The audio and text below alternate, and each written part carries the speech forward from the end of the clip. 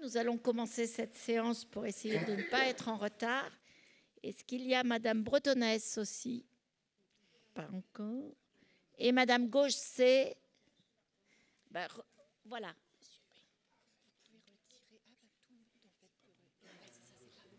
Qu'est-ce qui est pas beau?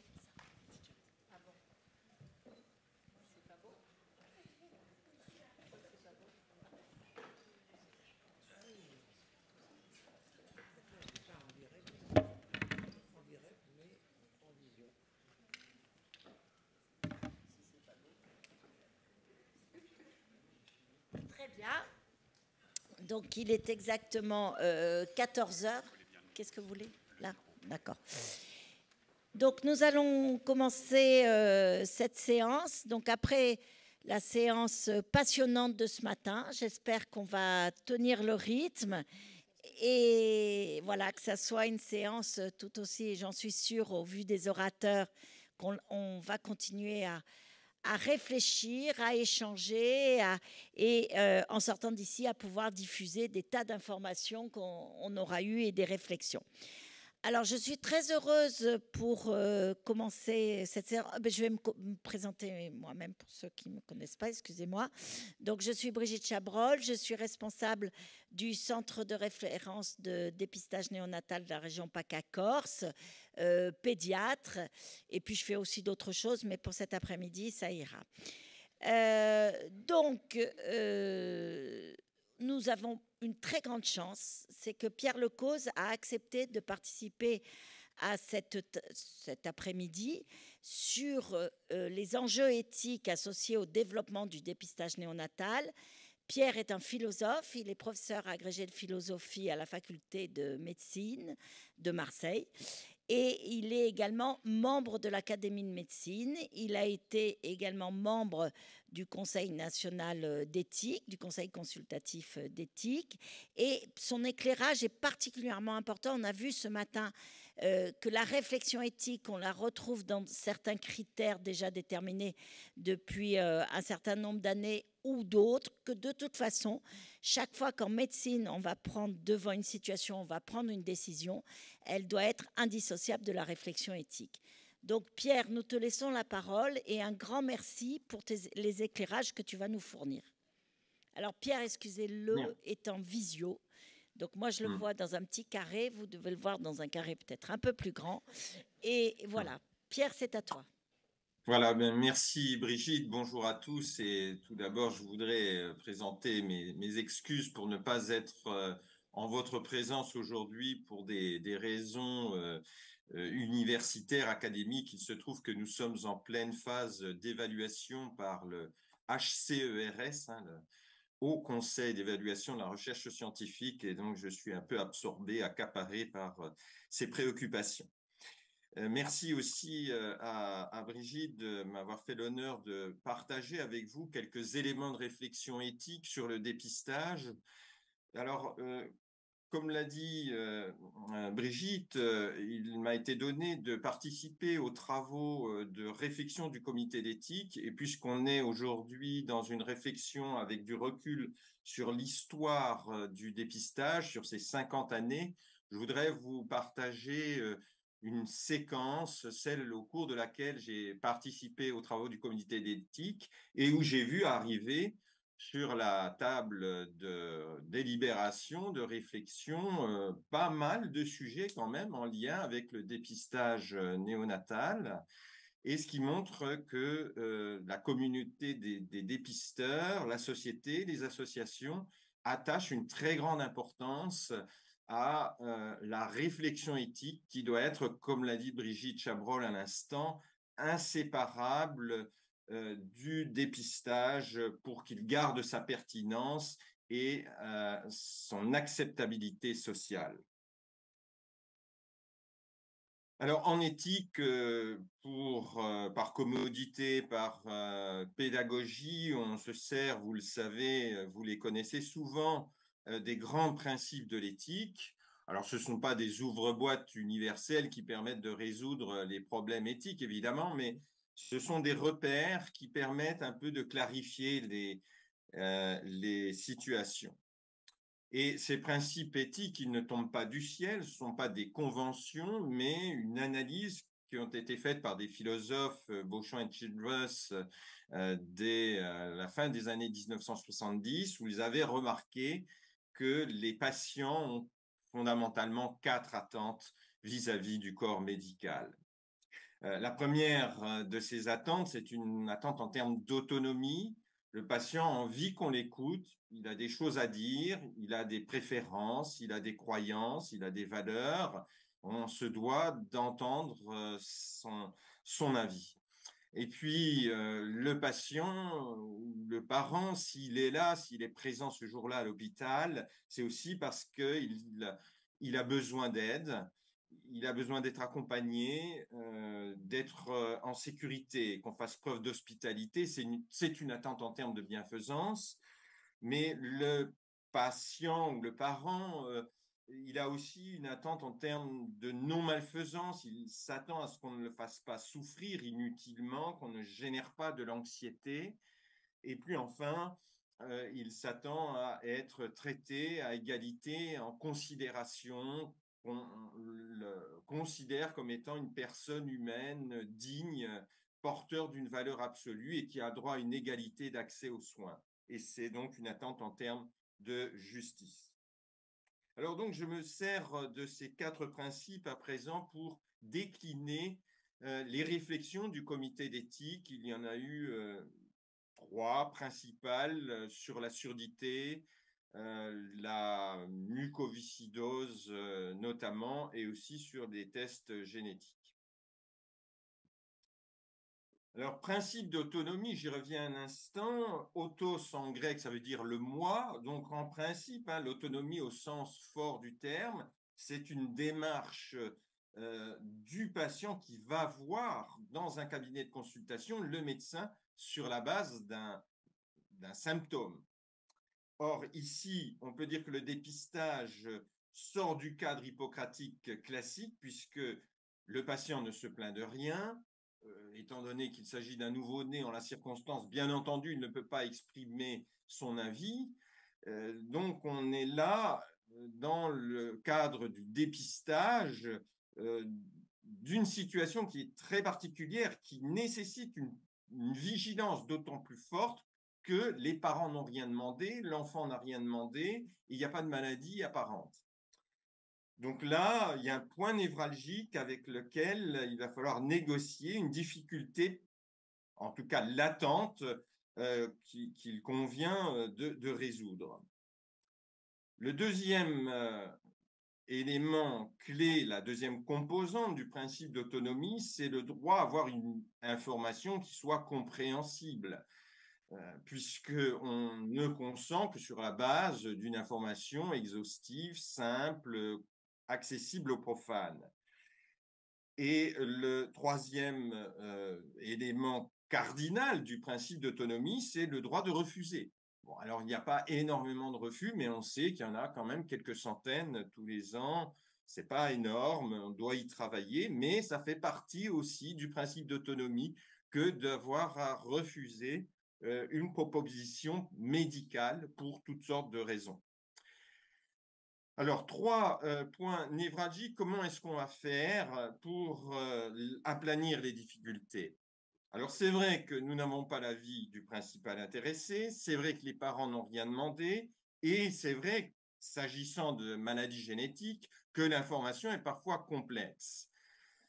Alors, le comité national d'éthique, lorsqu'il s'est agi de réfléchir sur euh, le déploiement du dépistage de la surdité dans les maternités à l'échelle du territoire euh, national, a recommandé que quand même les femmes, les couples d'une manière générale, hein, soient informés en cours de grossesse euh, de manière à ne pas être surpris par cette technique très particulière de, d'évaluation du potentiel auditif euh, du, nouveau-né. Donc, il faut informer les femmes, il faut informer les couples de ce qui va se passer en maternité, ça dépasse la surdité, de manière à obtenir une pleine adhésion euh, au moment de la naissance de l'enfant, d'autant plus qu'on sait que on n'a pas beaucoup de temps pour expliquer les choses. Euh, euh, la femme restant en maternité 48 heures, 72 heures, et c'est d'ailleurs un élément que déplorait le comité d'éthique à l'époque, réticent à l'idée d'étendre le dépistage d'absurdité dans les maternités immédiatement, c'est-à-dire on n'est pas assez armé, commençons par former, commençons par avoir les infrastructures, et à ce moment-là, bien sûr, il faut faire du dépistage de la surdité en maternité. Alors, euh, je disais que l'enfant ne peut pas donner son consentement. Bon, c'est quand même un point à prendre en considération, surtout s'il y a une extension du dépistage. Mais euh, quand son intérêt est manifeste, euh, on peut présumer de son consentement et on est à peu près sûr qu'on l'obtiendra de toute façon, de façon rétrospective, rétroactive, mais je crois que c'est un point qui sera abordé dans la journée, donc je ne m'y attarde pas. Ensuite, on a une autre attente essentielle parmi les principes de l'éthique, c'est la bienfaisance. Bienfaisance, ça veut dire faire du bien, procurer des bienfaits et c'est bien faire son métier aussi, c'est le faire de façon professionnelle. Hein. On ne doit pas se tromper, évidemment, dans les cartons, dans les carnets, dans les inscriptions. Tout doit être euh, réalisé avec le plus grand professionnalisme. Mais, euh, comme je le disais, le dépistage a un peu démantelé le cadre classique euh, hippocratique de la médecine. Euh, on va pouvoir considérer certes que Hippocrate reste un repère. Quand il dit face aux maladies, avoir deux choses à l'esprit, faire du bien ou au moins ne pas faire de mal, ça reste un repère valable, sauf que parfois aujourd'hui, le bien euh, n'est plus comme au temps d'Hippocrate un bien curatif, thérapeutique, ça peut être un bien palliatif, préventif, et puis ça peut être un bien à plus long terme, quand la maladie se déclarera peut-être euh, dans 20 ans ou 25 ans. Alors, c'est la raison pour laquelle euh, le Comité national d'éthique, dans un autre avis, l'avis 97 sur le dépistage, notamment de la mucoviscidose, disait le dépistage doit améliorer significativement l'espérance de vie et les conditions de vie du malade. Je souligne significativement, c'est-à-dire qu'il faut que vraiment le, jeu envahisse la chandelle, un vrai retour sur investissement, sinon c'est la porte ouverte à, toutes sortes de dépistages plus ou moins pertinents. Et puis, c'est le malade lui-même, c'est l'enfant en la circonstance euh, euh, à qui on doit prodiguer un bienfait. Et là, va se poser un certain nombre de questions par rapport aux parents. Est-ce qu'on fait du bien aux parents ou à l'enfant? Et euh, dans le cadre de cet avis, la question qui se posait au comité d'éthique, c'était de se dire, après tout, la mucoviscidose, il n'y a pas vraiment de traitement. Je sais qu'aujourd'hui, ce sera reprécisé dans la journée, mais les choses ont changé s'agissant de la mais à l'époque, on s'est quand même retrouvé face à une situation un peu inédite, c'est vrai, euh, d'une maladie pour laquelle on n'avait pas de traitement. Embarrassé au regard des critères stricts de Wilson et Hugner.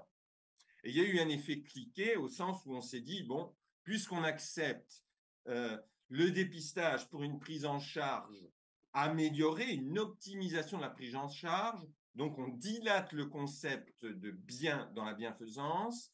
Donc, ça va faire effet cliquet, c'est-à-dire que les prochaines maladies qui vont rentrer dans le dépistage, il faut qu'ils aient euh, une pertinence au moins équivalente à celle qu'on a acceptée pour la mucoviscidose. Alors, sur cette diapositive, j'ai mis la phénylcétonurie tout au-dessus, puisque évidemment, elle remplit tous les critères et c'est le prototype même du dépistage. Et après, on va un peu glisser, faut pas trop glisser quand même, hein, euh, mais ça, reste le prototype, mais on peut desserrer légèrement les critères pour pouvoir euh, faire entrer dans la politique de dépistage un peu plus de maladies. Alors ensuite, euh, la question du bien de l'enfant, elle se pose aussi quand les parents ne veulent pas savoir. Et ça, euh, le Comité national d'éthique, en 2016, dans un avis dédié à la réflexion sur les tests génétiques, a posé le problème, euh, notamment euh, concernant des résultats inattendus. Hein. On, trouve des choses, qu'on appelle les découvertes incidentes ou secondaires.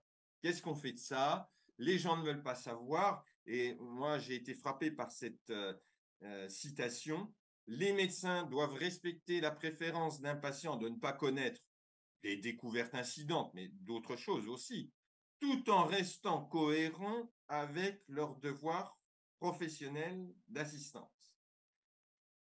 Alors là, ça veut dire qu'il y a quand même une tension entre respecter la position des parents et quand même le devoir de, procurer un bienfait à l'enfant. Ce qui veut dire que si on reprend euh, le cas euh, de tout à l'heure, de la phénylcétonurie, euh, bien, bon, d'accord, les parents ne veulent pas, pour des raisons idéologiques ou parfois psychologiques, bref, mais là, il y a un vrai dilemme de savoir est-ce que l'on baisse les bras, est-ce qu'on s'incline devant le choix des parents euh, là, ce que nous dit le Comité national d'éthique, c'est quand même non, vous ne pouvez pas rester comme ça à vous incliner. Il va falloir aller au charbon. Il va falloir euh, aussi respecter votre devoir de déontologie qui est l'assistance à une personne potentiellement en danger. Donc, on ne doit pas lâcher la partie aussi facilement. Et même dans la surdité, euh, certes, si les parents sont sourds et ne veulent pas contestent leur enfant pour des raisons aussi euh, militantes, euh, culturelles, idéologiques. Malgré tout, il ne faut pas lâcher le morceau tout de suite. Il y a l'intérêt supérieur de l'enfant qui est là et on doit prendre le temps d'argumenter pour essayer quand même de convaincre en restant dans le, code de la civilité et de la bienséance, mais quand même ne pas tout de suite lâcher la partie parce que derrière tout ça, il y a quand même le bien de l'enfant. Voilà ce que disait l'avis du CCNE. Hein. Le critère principal de justification des décisions postnatales, quelles qu'elles soient, demeure l'intérêt direct de l'enfant. Et dans la circonstance, on sait que si l'enfant euh, n'est pas dépisté euh, pour la surdité, il s'ensuit souvent un retard de diagnostic parce que les parents ne se rendent pas compte que l'enfant est sourd bien souvent. Et du coup, euh, eh bien, on, laisse passer une fenêtre d'opportunité qui aurait été euh, la chirurgie qui permettait l'implantation, parfois, pas toujours, mais d'un implant cochléaire. Et plus récemment, en 2018, la Cour européenne des droits de l'homme va dans le sens de cette philosophie qui est que la bienfaisance à l'égard de l'enfant est doit, se traduire par une prise en compte de son intérêt supérieur et faire de cet intérêt supérieur une considération primordiale. Vous voyez que là, les adjectifs qui sont utilisés sont très forts, supérieur, primordial. On n'est quand même pas loin d'une obligation des parents euh, de ne pas euh, attenter à euh, la santé de leur enfant. Alors la bienfaisance, je vais passer à la non-malfaisance, mais je voudrais encore dire à quel point aujourd'hui elle risque peut-être encore de se complexifier parce que j'ai parlé de biens préventifs, de biens curatifs, parfois de biens palliatifs, mais il y a même des biens cognitifs qui s'ajoutent aujourd'hui à la liste, en ce sens que euh, des personnes qui ont une maladie génétique racontent que pendant des années, d'errance diagnostique. Elles, euh, elles ont été plus ou moins accusées par la famille de simuler une maladie. Euh, ça fait du mal de ne pas savoir le nom de la maladie. Ou alors, quand un enfant ne se relève pas, on dit oui, mais quand même, quel, paresseux, allez, bouge-toi, tu es toujours en train de dormir, tu es toujours affalé, va courir avec tes petits euh, camarades. On voit bien qu'on peut être très dur euh, avec des gens qui ont une maladie génétique qu'on ne connaît pas. Donc cet auteur euh, dont je parle, parce que j'ai été jury de sa thèse, Marie-Hélène Boucan, m'a sensibilisé au fait que parfois le simple fait d'informer est, déjà en soi un bien. Et alors là, vous imaginez, euh, ça, ça, ouvre quand même euh, des portes immenses euh, au dépistage et que là aussi, on doit redoubler de vigilance. Si on considère que le fait d'être informé à la naissance pourrait être un bien, même si on n'a pas de traitement. Parce que c'est ça que nous dit cet auteur finalement. Et alors, euh, le législateur français a tendance à surfer un petit peu sur cette philosophie euh, du bien cognitif, hein, puisque dans un arrêté de 2014, euh, il énonce une obligation d'information des membres de la famille. Vous savez que si on découvre par exemple que vous avez une maladie de Steinert, vous avez donc une maladie génétique pour laquelle il existe une réplique thérapeutique euh, ou palliative, puisqu'on va vous mettre un pacemaker, eh bien, euh, si vous avez une maladie génétique pour laquelle il existe des moyens préventifs, et, vous êtes obligé euh, d'informer la famille. Or, pourquoi je reprends cet arrêté? Parce qu'il m'a assez intrigué en le relisant obligation d'informer les membres de la famille d'une anomalie génétique grave dont les conséquences sont susceptibles de mesures de prévention, y compris de conseils génétiques ou de soins. Ce qui veut dire que là, la bienfaisance tellement étendue qu'on rejoint un petit peu la position de tout à l'heure sur le bien cognitif. Ça sera toujours utile à la famille de savoir qu'ils ont tel risque de prédisposition.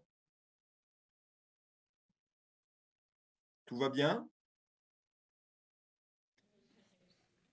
Euh, Alors, avant de quitter la bienfaisance, euh, je, voudrais dire un mot sur l'acceptabilité sociale parce que dans les critères euh, de Wilson et Jugner, on a pu se demander parfois, mais pourquoi y a-t-il cette idée d'acceptation par la population? Et aussi, s'il y a un segment de la population qui n'est pas d'accord, qu'est-ce qu'on fait? Et c'est tout à fait le cas dans la euh, pratique du dépistage de la surdité congénitale profonde, bilatérale.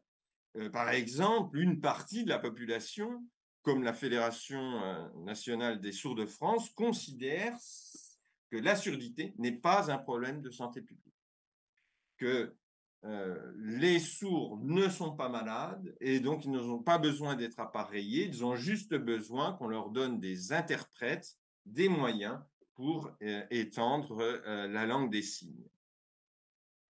Alors le comité national d'éthique a estimé pour sa part que c'est quand même un préjudice pour l'enfant que de ne pas pouvoir bénéficier d'un appareillage qui lui permettrait d'avoir des interactions avec le reste de la société donc on va considérer que la fédération est libre de ses positions, mais qu'elle ne représente qu'une minorité, et donc euh, l'acceptabilité sociale est quand même respectée si l'on est démocrate et on prend en compte euh, l'intérêt de euh, la majorité.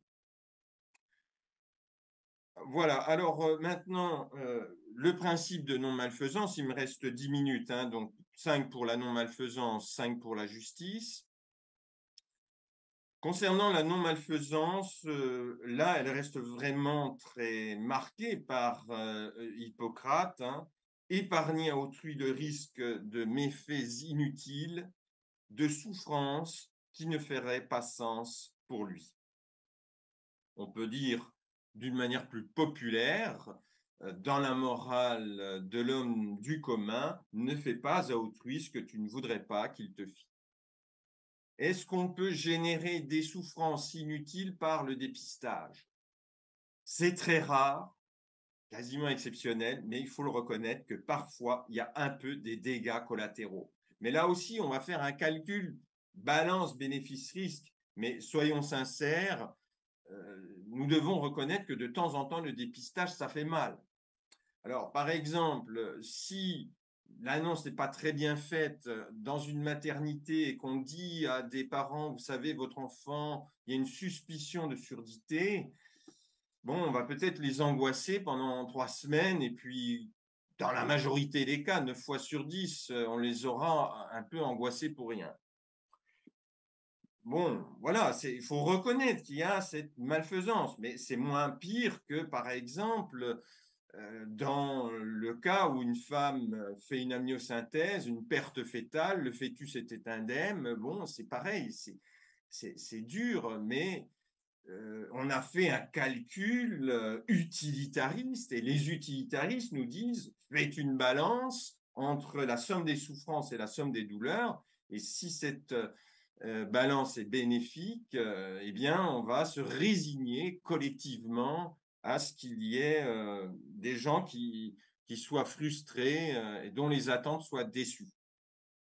Et là, dans le cadre de la, du dépistage d'absurdité, certes, il y a la souffrance des gens qui vont s'angoisser pendant trois semaines, mais il faut aussi penser à la souffrance des parents qui n'ont pas vu que l'enfant était sourd et à qui l'équipe médicale va dire, vous savez, maintenant, on a laissé passer la fenêtre d'opportunité, le cerveau n'est plus aussi plastique, ça sera difficile de l'appareiller. Donc là, c'est un drame et les parents culpabilisent et éprouvent du remords de ne pas avoir décelé la surdité plus rapidement. Alors, un mot concernant l'avenir, parce qu'il faut se préparer aussi aux 50 ans qui viennent. il y aura probablement une partie de la génétique qui sera plus importante. Elle a d'ailleurs commencé à s'inviter hein, dans les textes de loi de la bioéthique.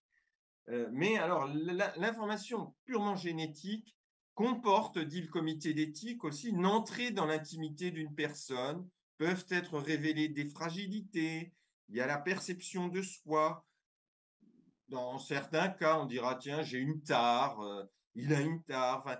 c'est quand même quelque chose qui n'est pas indifférent d'apprendre qu'on a des gènes euh, délétères. Du reste, la société est attentive euh, à cette situation très particulière puisqu'elle autorise les individus à ne pas livrer à leur banquier ou à leur assureur des informations concernant la génétique. Enfin, euh, pour être complet sur la non-malfaisance que redit dans tous ses avis le comité d'éthique, c'est que l'information anxiogène sans débouché thérapeutique est un non-sens. Et on peut prendre l'exemple de personnes qui sont tentées de faire un dépistage de la maladie d'Alzheimer. Alors évidemment, ça ne va pas être des nouveaux-nés, enfin je l'espère, mais euh, le dépistage de la maladie d'Alzheimer bien avant, présymptomatique, hein, bien avant la survenue euh, potentielle hein, des, signes de la maladie, cela pourrait être considéré comme une balance autonomie-non-malfaisance qui serait plutôt défavorable à l'autonomie. Il semble y avoir plus de risques de générer de l'information quand il n'y a pas de perspective thérapeutique. Mais bon, il y a, probablement des gens qui ne seraient pas d'accord avec ce qu'ils appelleraient un paternalisme du législateur français qui dit quand vous faites de la génétique, vous devez passer par les généticiens, par un prescripteur, vous ne pouvez pas accéder directement au génome parce que finalement, comme on le voit sur cette image, on n'a pas envie que quelqu'un euh, apprennent des informations concernant sa génétique et qu'il se retrouve à 11 heures du soir tout seul devant son écran, complètement angoissé par des informations qu'il n'arrive pas bien à comprendre. Alors j'en arrive à la fin, le principe de justice. Ça sera très court.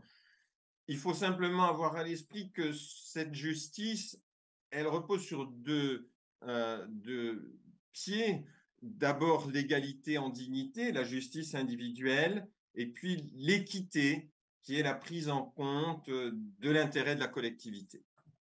Alors l'équité dans la distribution des ressources rares, ça veut dire quoi? Ça veut dire qu'il faut quand même calculer le coût euh, et euh, donc étendre le dépistage. Cela ne doit pas se faire au détriment de la prise en charge d'autres patients.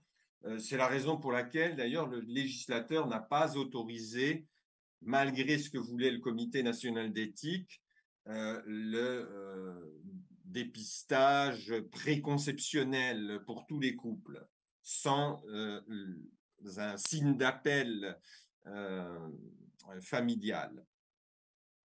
Là, il y a des questions de coût qui rentrent en considération pour ne pas léser d'autres patients, puisqu'on travaille quand même avec une enveloppe budgétaire contrainte, qui est l'enveloppe dévolue au ministère de la Santé.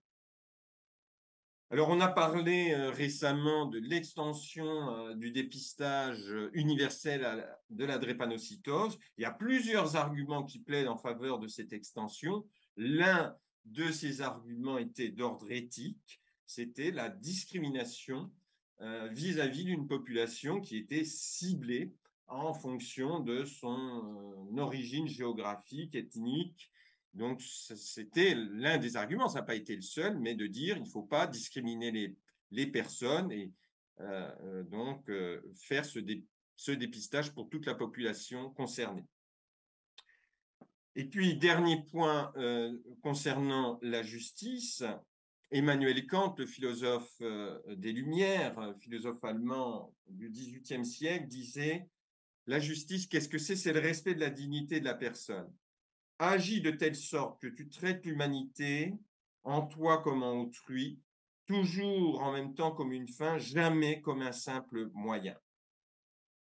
Est-ce que parfois l'enfant ne pourrait pas être traité comme un simple moyen Il y a un risque, il y a un point névralgique, il y a un point de vigilance, il faut être très attentif à cela, car on a dit tout à l'heure, euh, il faut procurer un bienfait pour l'enfant, certes, si la famille en tire aussi un bénéfice, personne ne s'en plaindra, mais enfin, c'est quand même l'enfant qui vient en priorité.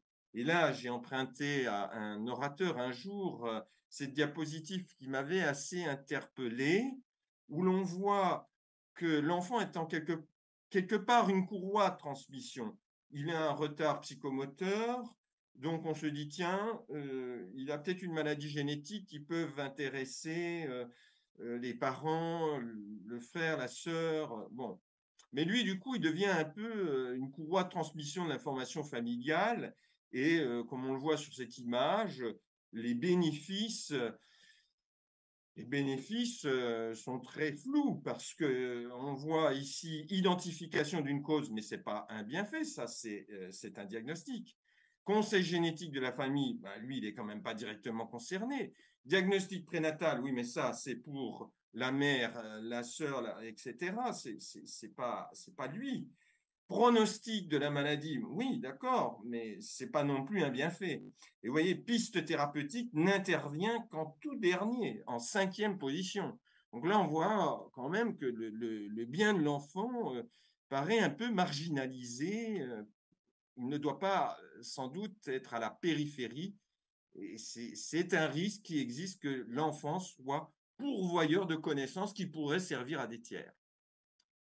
Et le Comité national d'éthique avait rendu un avis qui avait fait un peu controverse parce que conscient du fait que les enfants risquaient de devenir transparents aux yeux de leurs parents, on donne des informations aux parents, du coup, l'enfant se retrouve avec une étiquette d'hétérozygote qui va, euh, va euh, malheureusement, qui va lui rester collée euh, pendant toute, son, toute sa croissance, pendant l'adolescence.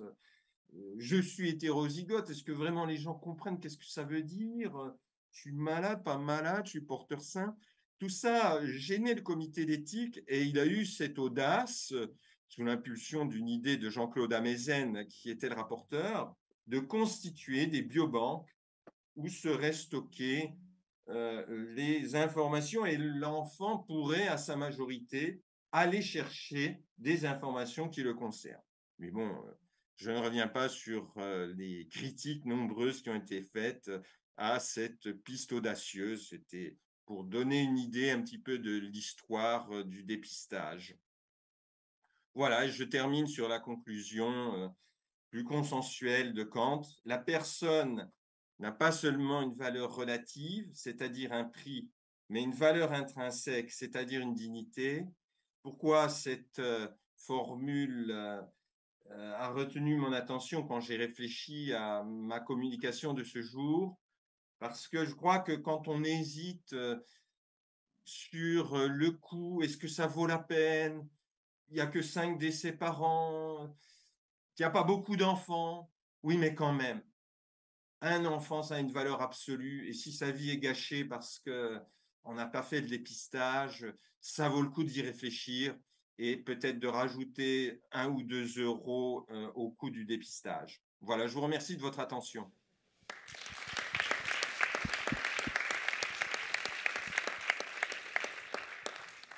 Merci beaucoup Pierre pour ton intervention euh, absolument magnifique.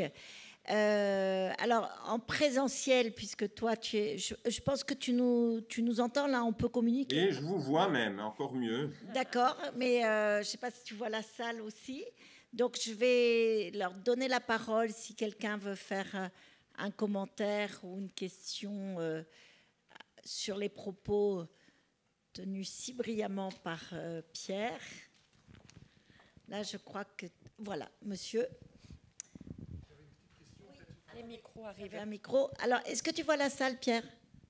Oui, Non, mais c'est pas grave, j'entends. Hein. Merci de votre Ah oui, là, je vois, je vois la salle. Tu vois, voilà. J'avais, j'avais une impression, c'est que vous aviez plus insisté sur le dépistage de la surdité que sur d'autres pathologies.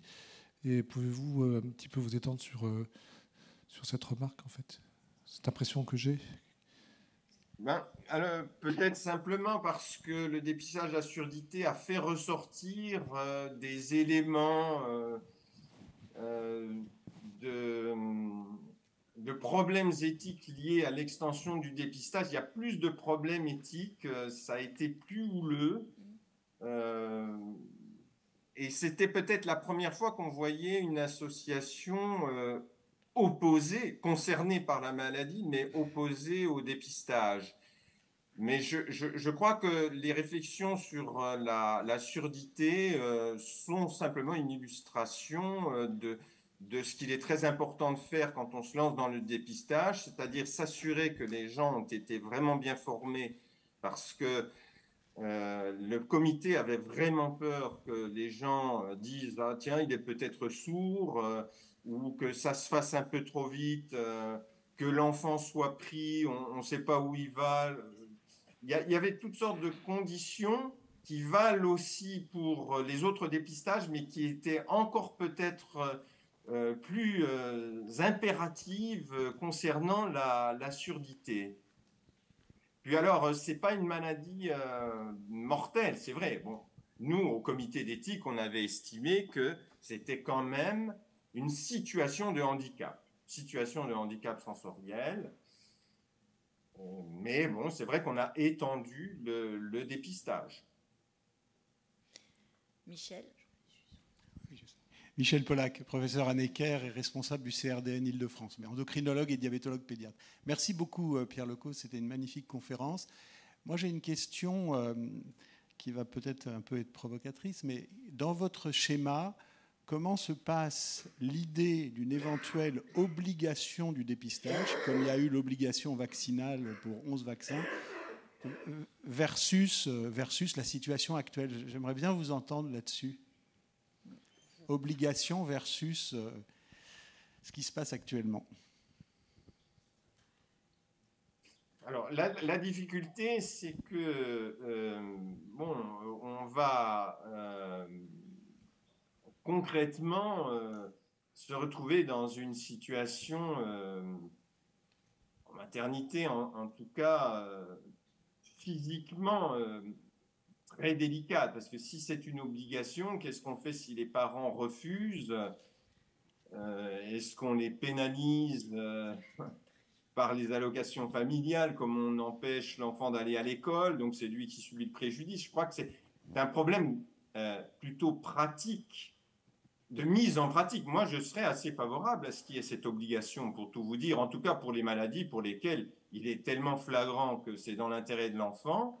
Et si on veut être conséquent avec une philosophie qui place l'intérêt supérieur de l'enfant par-dessus tout, ce qui est aussi ma philosophie, euh, je, serais pour cette obligation. Mais après, quand je, réfléchis matériellement, concrètement, comment on peut faire, j'imagine pas d'aller chercher la police. Alors, euh, par exemple, on parlait de la surdité tout à l'heure. Bon, les parents qui ne veulent pas, s'ils sont eux-mêmes euh, sourds, ne veulent pas que euh, on dépiste l'enfant. Bon, on dépiste l'enfant pour pouvoir l'appareiller. Et on aura évidemment besoin de l'adhésion des parents pour l'implant cochléaire, les réglages, etc. Ça, ça, va prendre du temps, de l'énergie. Donc s'ils ne sont pas adhérents, ça, ça, ne sert à rien de les obliger. Voilà, donc pour répondre franchement à votre question, oui à l'obligation, mais Comment on fait? Ça, c'est très difficile. Euh,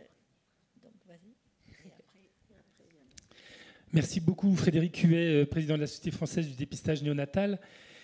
L'expérience, ça fait 30 ans que je, procède à des annonces de dépistage, j'ai bien dit de dépistage et non pas de diagnostic, on fera la nuance tout à l'heure. Et en, vous écoutant parler autour de la non-malfaisance, je me dis que pour la plupart des tests biochimiques qu'on utilise, notre spécificité est simplement de 30%. Ça veut dire que 7 fois sur 10, il n'y a pas de diagnostic derrière. Hein. Et donc on entre dans une démarche d'annonce, ou en tout cas d'information donnée à la famille pour une maladie qui n'existe pas. Pour un marqueur biologique élevé, certes, mais pour une maladie qui n'existe pas. Et donc 7 fois sur 10, on va entraîner dans cette famille, pour qui tout allait bien jusque-là, il n'y avait aucun symptôme, une démarche de réflexion autour d'une maladie qui finalement n'est pas présente. Comment, comment, quel regard vous avez autour de, cette difficulté qui est malheureusement incontournable? Si on veut être très haut en sensibilité, eh bien on est obligé d'avoir une petite marge euh, négative autour de la spécificité. Comment contourner cette, euh, cette difficulté? Euh, j'ai donné un exemple hein, de, l'amniosynthèse qui, dans 0,5% des cas, se termine mal. J'ai parlé aussi des annonces de potentielle surdité ou de problèmes auditifs chez l'enfant qui finalement se révéleront aussi euh, nuls. L'enfant entend bien. Bon, les parents, euh, dix ans après, ils pourront dire quand même, ils nous ont foutu la trouille à la maternité. Hein ils s'en souviennent, ça va les marquer, c'est un vrai traumatisme. Et donc, je ne vois pas, malheureusement, il y aura toujours cet, effet euh, de, cet effet délétère euh, qui est peut-être une problématique euh, insurmontable pour toute politique de santé publique en général, parce que regardez, pour les campagnes de vaccination, il y aura toujours des rares effets indésirables graves, mais c'est vrai que ça existe.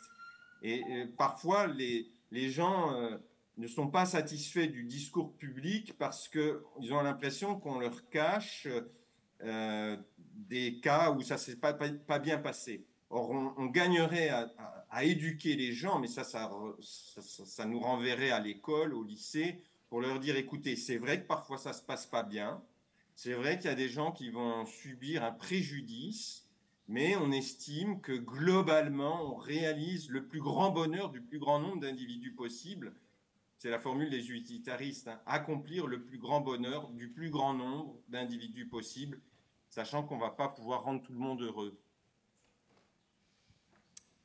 Une dernière question, peut-être Oui, euh, donc euh, merci pour cette belle euh, conférence et sur cette citation de, de, Kant sur la, valeur intrinsèque.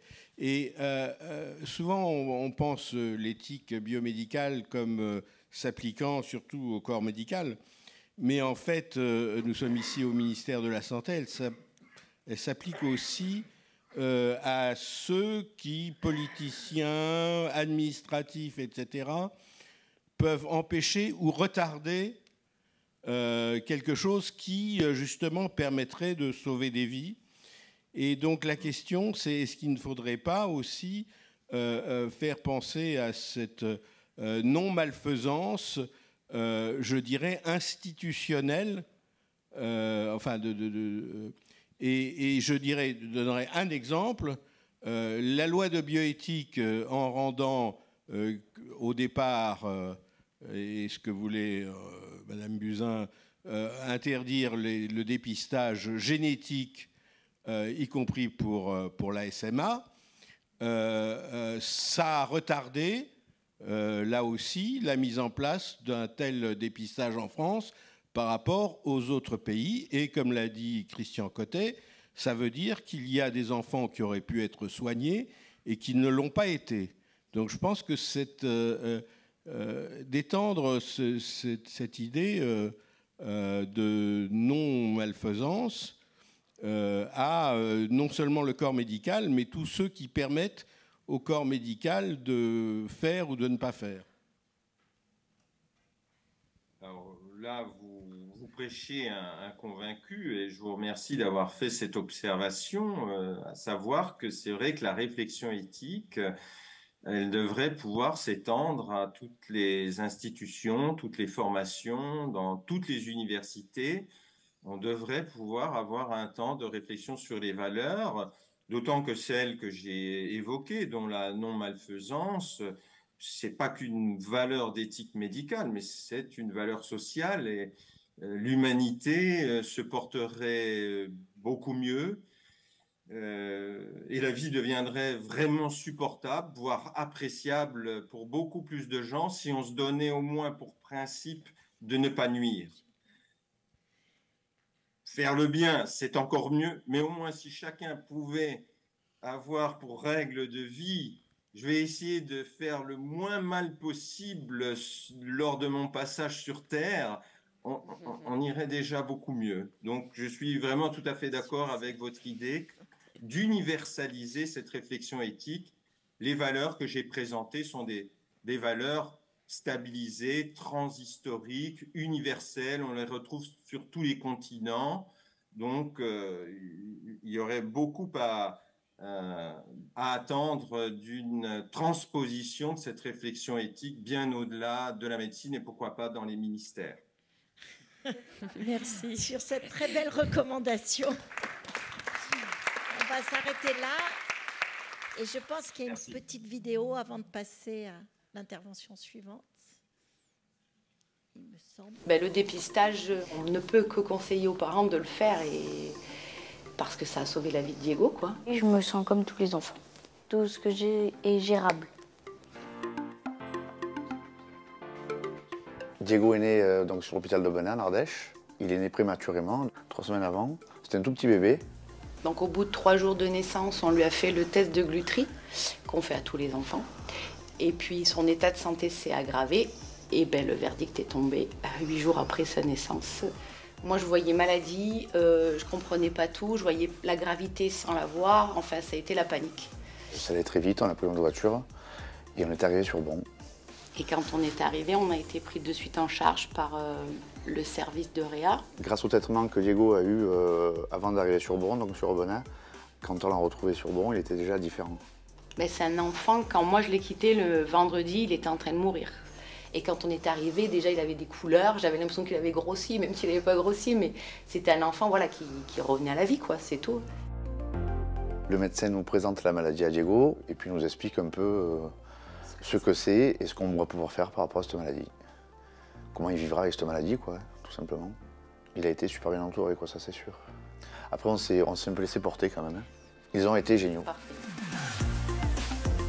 L'hyperplasie congénitale des glandes surrénales, euh, on n'en entend pas parler. Hein, euh. Sur mes reins, il y a quelque chose que je fabrique pas. C'est une maladie génétique. Et dans le cas de Diego, il n'y a que moi qui ai le gène muté.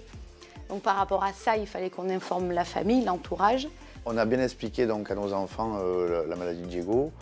Euh, on, en a, on, en a, parlé euh, tous les cinq.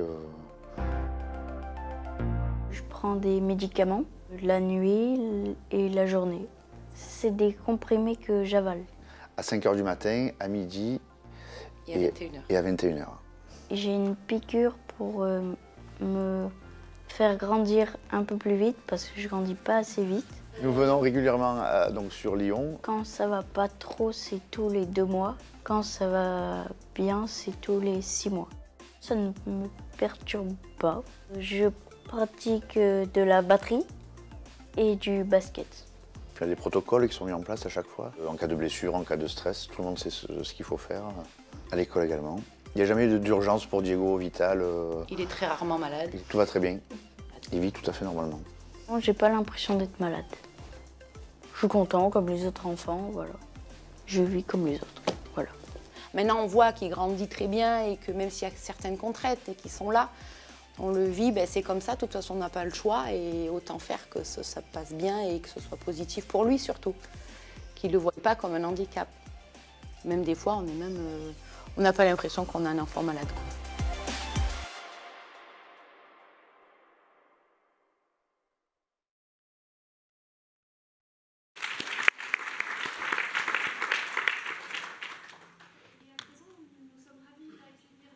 Serre Ouais, ça y est, c'est c'est déclenché tranquillement. Euh, Madame Lasserre, vous êtes arrivée à la Haute Autorité de Santé en 2017 en tant que chef de projet scientifique, justement pour euh, euh, regarder l'opportunité d'étendre le programme de dépistage néo- néonatal aux autres erreurs innées du métabolisme. Donc vous êtes arrivé dans ce contexte et puis ensuite vous avez participé aux travaux aboutissant aux recommandations pour les DIX, donc les déficits euh, immunitaires combinés sévères, et enfin euh, les dernières recommandations qui nous sont parvenues sur la généralisation de la drépanocytose. Donc on est enchanté de vous écouter, de vous évoquer les travaux de la Haute Autorité de Santé. Merci pour cette introduction et merci euh, pour l'invitation à, à participer à cette journée anniversaire qui est très importante. Et donc, moi, je vais essayer de, de faire la présentation en essayant de répondre aussi aux questions qui ont été posées ce matin et en espérant qu'il y aura moins de questions. je ne pense pas, mais bon, je- j'essaye. Donc, je vais rapidement vous expliquer euh, l'émission. Pardon, j'ai un problème avec. euh,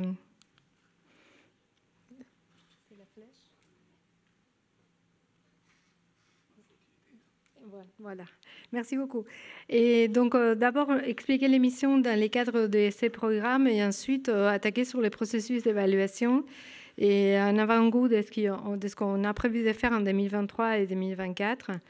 Et donc, euh, tout d'abord, hum, pourquoi on a eu ces missions? C'est parce que déjà, la SAES, elle a trois missions qui sont d'évaluer des médicaments, de recommander des bonnes pratiques euh, et aussi de mesurer et améliorer la qualité euh, dans les hôpitaux, les cliniques. Vous connaissez bien les missions de la Haute Autorité de Santé qui sont pratiquées et toujours avec, euh, avec une rigueur scientifique et qui fait partie de nos valeurs, de l'indépendance et de la transparence. Et donc, euh, nous, allons appliquer et nous appliquons euh, les mêmes trois valeurs pour toutes les missions, y compris celles qui nous a confiées pour le dépistage néonatal. Et la première chose, c'est qu'on euh, fait partie intégrante du Comité national du pilotage, ce qui veut dire que bah, on participe activement deux fois par an pour justement remonter les avancées de nos travaux et rendre compte de ce que l'on fait dans les cadres de ces missions. On, nous a confié aussi euh, la possibilité de faire une veille euh, active euh, sur les dépistages néonataux. Et on produit une newsletter, mais je reviendrai plus tard. On produit des documents d'information et on réfléchit sur les critères d'évaluation. Et, enfin, la partie que vous connaissez le plus, c'est qu'on évalue des maladies et qui aboutissent à, faire des, avis et des recommandations qui sont au- à nos pouvoirs publics. Notre but est de pouvoir éclairer la décision. Donc, je vais faire rapidement des focus sur quelques livrables parce qu'ils ont été, euh, certains, ils ont été euh, montrés ce matin. Et con- concernant la veille scientifique, en fait, elle a été mise en place en 2019 avec euh, la contribution de la Société française du dépistage néonatal. Et à l'époque, je pense que c'était Régis Cutan qui avait participé avec, euh, c'est pas mon service euh, qui, qui les développe, c'est les services euh, d'éveil et, et d'observation en documentation et qui, euh, qui a défini les mots-clés avec la SFDN pour euh, pouvoir euh, et obtenir régulièrement une veille actualisée des articles qui pourraient guider notre réflexion et nous alertent sur les projets qui sont menés à l'étranger et les registres. Et tout cela est, actualisé via une plateforme Scoopit dans laquelle la plupart d'entre vous sont abonnés. Et c'est une mission qui est menée sur les longs termes, mais qui pourrait évoluer si vous avez euh, des idées pour euh, actualiser nos, mots-clés. Et nous avons aussi contribué avec les, centres nationaux de coordination à, faire évoluer les documents d'information. Et ces documents d'information ont été portés par les services d'engagement des usagers à l'HAS par ma collègue Marie Carrère, qui avait créé un comité de rédaction dans lequel a été associé le monsieur Frédéric Huet, qui a beaucoup participé. Et nous avons beaucoup réfléchi à comment faire en fait en dépliant qui, malgré, les évolutions et les, nouvelles maladies qui vont être rajoutées, pouvaient vivre le plus possible sans devoir euh, l'actualiser tout le temps. C'est pour ça qu'on n'explique on, pas maladie par maladie, mais on explique des maladies hormonales, des maladies métaboliques. Bon, on, on parle de la drépanocytose et de la mucoviscidose, mais on a essayé de laisser des portes euh, ouvertes à d'autres maladies qui vont se rajouter à ces programmes euh, progressivement. Il y a eu aussi des focus euh, group avec euh, des professionnels de santé pour euh, écrire des documents d'accompagnement qui ont été aussi menés par les services d'engagement des usagers. Et, ces focus group ont été très riches et ont permis d'améliorer ces documents pour délivrer une information, justement, et recueillir le consentement des parents. Et ça a été inspiré des guides d'outils à la décision partagée. Donc, euh, et enfin, on produit régulièrement des, fiches euh, sous les formats questions-réponses que bon, moi j'ai rédigé personnellement et je me suis fait après appuyer par euh, la, filière maladies métaboliques et en fait, tous les professionnels impliqués dans les filières sont très réactifs. Ils nous ont aidés vraiment à pouvoir euh, améliorer, à trouver les mots parce que c'est pas simple d'écrire, euh, de répondre à quelques questions sur l'origine de la maladie, comment le déficit il est détecté. Et donc, euh, ça paraît synthétique et simple, mais en fait, c'est très difficile de rédiger ces, fiches, de trouver un consensus pour tous les mots. Et nous allons prochainement donc et, inclure euh, une nouvelle fiche euh, question-réponse pour euh, les DIX qui sera prêt au moment où ces dépistages sera mis en place. Donc les processus d'évaluation, et je voudrais d'abord vous expliquer comment le travail de l'HAS il est établi. Et, donc, il est défini d'abord chaque année en concertation avec le ministère et la Caisse nationale d'assurance maladie. Et de quelle façon? Il y a toutes les demandes d'inscription des sujets, des cécines qui arrivent. Et nous, on a des, fiches de faisabilité très structurées. Et on demande au chef des projets en fait d'analyser la demande, de voir comment la demande elle peut être appliquée. Si, et après, on les classe euh, par rapport à toutes les fiches qu'on reçoit de toutes les directions. Ces fiches elles sont ensuite analysées, présentées au collège, et c'est les collèges qui décident si on les inscrit euh, au programme de travail ou pas. Mais moi, je voudrais attirer votre attention que même quand on l'inscrit au programme de travail, le programme de travail, il, peut, et il est susceptible d'évoluer en fonction des priorités qui sont liées à l'actualité. Coronavirus, monkeypox euh, et autres euh, urgences sanitaires, qui nous obligent à suspendre le programme de travail et à les décaler dans les temps. Et c'est ce qui a malheureusement arrivé avec euh, certaines de, nos recommandations qui ont été suspendues pendant une longue période. Donc, une fois qu'on a notre programme de travail et qu'on on, a les go pour y aller, et donc euh, euh, notre travail consiste à pouvoir réunir les arguments qui permettent de juger l'opportunité de mettre en place ces actions et de préciser les modalités et, euh, mais aussi, en fait, notre évaluation doit préciser les bénéfices, les risques et l'efficience des actions que nous avons évaluées. Et donc, euh, comment va vivre une recommandation à l'intérieur de, notre institution? Et je ne parle que de la recommandation en santé publique. Donc, euh, notre service, qui est le service d'évaluation en santé publique et évaluation en vaccin, relève de deux commissions. Il y a la commission technique de vaccination et il y a la commission d'évaluation santé économique et santé publique. Et, donc, on, fait la faisabilité et quand on se met à travailler, on écrit une note de cadrage. Cette note de cadrage, elle va être notre fil rouge dans laquelle on va expliquer les contextes, les objectifs, la méthodologie de travail. On fait un état de l'art de la bibliographie et on pose les questions d'évaluation. Tout ça est présenté à la, commission à laquelle on réfère et c'est ensuite validé ou pas par les collèges. Quand c'est validé et c'est mis en ligne, on peut donc faire appel à l'expertise externe. Donc il y a bien sûr l'expertise interne et on fait aussi appel à des experts qui font partie de notre groupe de travail. Et, et une fois que l'argumentaire est rédigé, il faut repasser par les instances. On passe donc encore une fois à une commission qui a, qui a deux rapporteurs. Ces rapporteurs, ils, ils, bon, ils, les rapports, ils s'expliquent euh, à leurs confrères les, limites de notre travail. Ils se mettent en, un avis positif ou négatif. La commission débat il y a un des votes et si c'est favorable, on passe au collège. Il y a deux instances, il y a deux instances au collège, une délibérative. Et donc, euh, une fois que le processus est bouclé, on peut diffuser la recommandation. Et donc, euh, l'expertise interne, il est géré par un chef de projet qui va donc euh, lui contacter un appui et un documentaliste et un assistant documentaliste pour établir une stratégie de recherche des mots-clés de façon très, très carrée et qui va permettre à n'importe quelle personne d'entre vous de faire la même recherche, de trouver les mêmes publications à la même période. Donc c'est quelque chose qui est vraiment très, très bien établi avec des standards méthodologiques euh, très, très clairs et très suivis à l'HAS. Et, et, on identifie en même temps les sociétés savantes pertinentes et on invite les experts et euh, pour revenir à la présentation précédente, on associe aussi, au moins pour le dépistage néonatal, dans les dernières recommandations, on a toujours euh, invité des experts avec des compétences éthiques. Donc, euh, hum, l'expertise interne, c'est dans la plupart des cas un groupe de travail.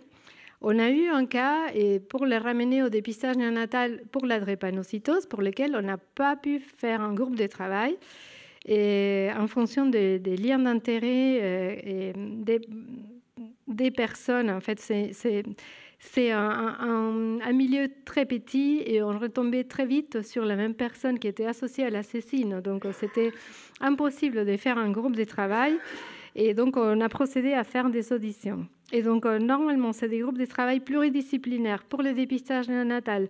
Nous avons des pédiatres, des métaboliciens, Mm, des, associations des patients très importantes, toujours présentes dans, notre, dans nos groupes de travail, qui font un grand apport. On a des sages-femmes, des infirmières. En fait, on fait un appel pluridisciplinaire pour avoir justement le regard les, plus euh, représentatifs du terrain. Parce que ces groupes de travail, ils, ils contribuent à la cohérence entre l'argumentaire scientifique et la pratique. Et bien sûr, il exprime son avis sur les questions d'évaluation. Et il s'engage cependant à déclarer ses conflits d'intérêts et il s'engage à, respecter la confidentialité jusqu'à la publication des recommandations. Parce que comme vous l'avez vu, une fois que nous avons fini notre rapport, ce n'est pas parce qu'on a fini le rapport que le rapport il est validé au collège. Donc euh, il y a plusieurs étapes à franchir. Ceux qui ont travaillé avec moi savent que moi je communique à chaque étape pour leur dire voilà, on a passé cette étape, c'est bon. Et donc à un moment donné, je ne dis plus rien parce que je n'ai plus le droit. Mais normalement, et en fait, on est assez transparent vis-à-vis de nos experts. On les tient informés. Nos experts euh, travaillent euh, beaucoup avec nous. On tient vraiment à les tenir informés de tous les processus. Sachez cependant que ces procédures, oui, elles sont lourdes. On a une sélection d'experts et on a euh, qui, qui signent l'RDPI. On a un magistrat qui a un, comité de validation de déclaration d'intérêt. On, passe on vient avec notre classeur, nos experts et l'air des pays qui sont vraiment épluchés à la loupe sur euh, notamment les, dernières cinq ans. Et on arrive à distinguer des intérêts, majeurs, des intérêts euh, bon, qu'on peut, euh, peut en passer. Et pour, ces, pour ces, cadres, pour le dépistage néonatal, ce qui a établi le déontologue est que on ne peut pas prendre dans notre groupe de travail et les personnes qui font partie du bureau de la Société française du dépistage néonatal.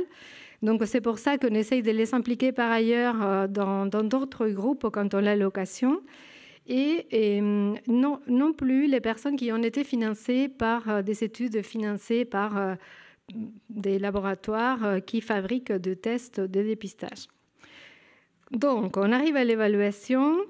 Critères retenus. Je ne vais pas revenir sur tout ce qui a été déjà dit ce matin, mais nous, en fait, sur les critères de Wilson-Yangner, pour le dépistage néonatal, on, va vraiment cibler sur l'histoire naturelle, la connaissance de l'histoire naturelle, la gravité de la maladie, la disponibilité d'un traitement, j'appelle de façon générique traitement, ça peut être une prise en charge adaptée, un régime alimentaire, vous les connaissez mieux que moi, la possibilité de pouvoir agir en temps utile si, la, maladie se déclenche trop tôt ou on a le temps vraiment d'agir si on met en place un dépistage. Il faut que les tests soient très performants pour ne pas avoir beaucoup de faux positifs ou ne pas dépister des maladies qui ne nous intéressent pas. Il faut bien sûr avoir un, bénéfice euh, individuel. On évalue aussi l'impact organisationnel, mais je vais l'expliquer d'une autre façon. Euh, on a établi un, logigramme décisionnel qu'on a utilisé pour les dernières évaluations.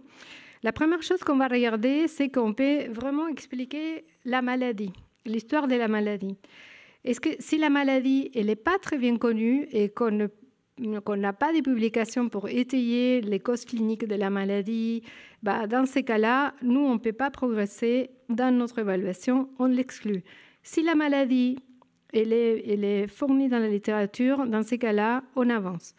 Si c'est une maladie pour laquelle on connaît les temps d'apparition, et si, cette maladie, elle se déclare très tôt, et, euh, le problème, c'est que même si on met en place euh, un dépistage néonatal, il ne sera pas utile. On ne pourra pas agir en temps utile. Donc, euh, nous, on préfère euh, en fait avoir des maladies pour lesquelles euh, il y a un sens de mettre en place un dépistage néonatal et qu'on puisse agir. Il faut bien sûr que ce soit une maladie très grave. Il faut ensuite euh, qu'on ait un traitement pour lequel on a prouvé l'efficacité. Même, en fait, on avait beaucoup discuté avec les membres du groupe de travail sur les erreurs des métabolismes qui ont participé à l'élaboration de ces critères. Et on avait dit, bon, il y a des, médicaments ou des traitements, je, parle de façon générique, pour lesquels on ne sait pas s'il y a vraiment une amélioration de la condition. Bon, dans ces cas-là, pouf, on exclut. Mais il y a des traitements qui ne sont pas capables de prévenir toutes les conséquences à l'heure actuelle. Mais elles peuvent, en fait, ces traitements peuvent néanmoins prévenir quelques ou euh, beaucoup ou toutes euh, les conséquences. Dans ces cas-là, bah, nous, on, on, avance dans l'évaluation. Si les bénéfices individuels de l'intervention précoce il est bien établi, on avance. Par contre, s'il n'y a pas un bénéfice individuel pour l'enfant ou s'il est partiellement établi pour nous, en fait, euh, c'est pas dérogatoire, on exclut.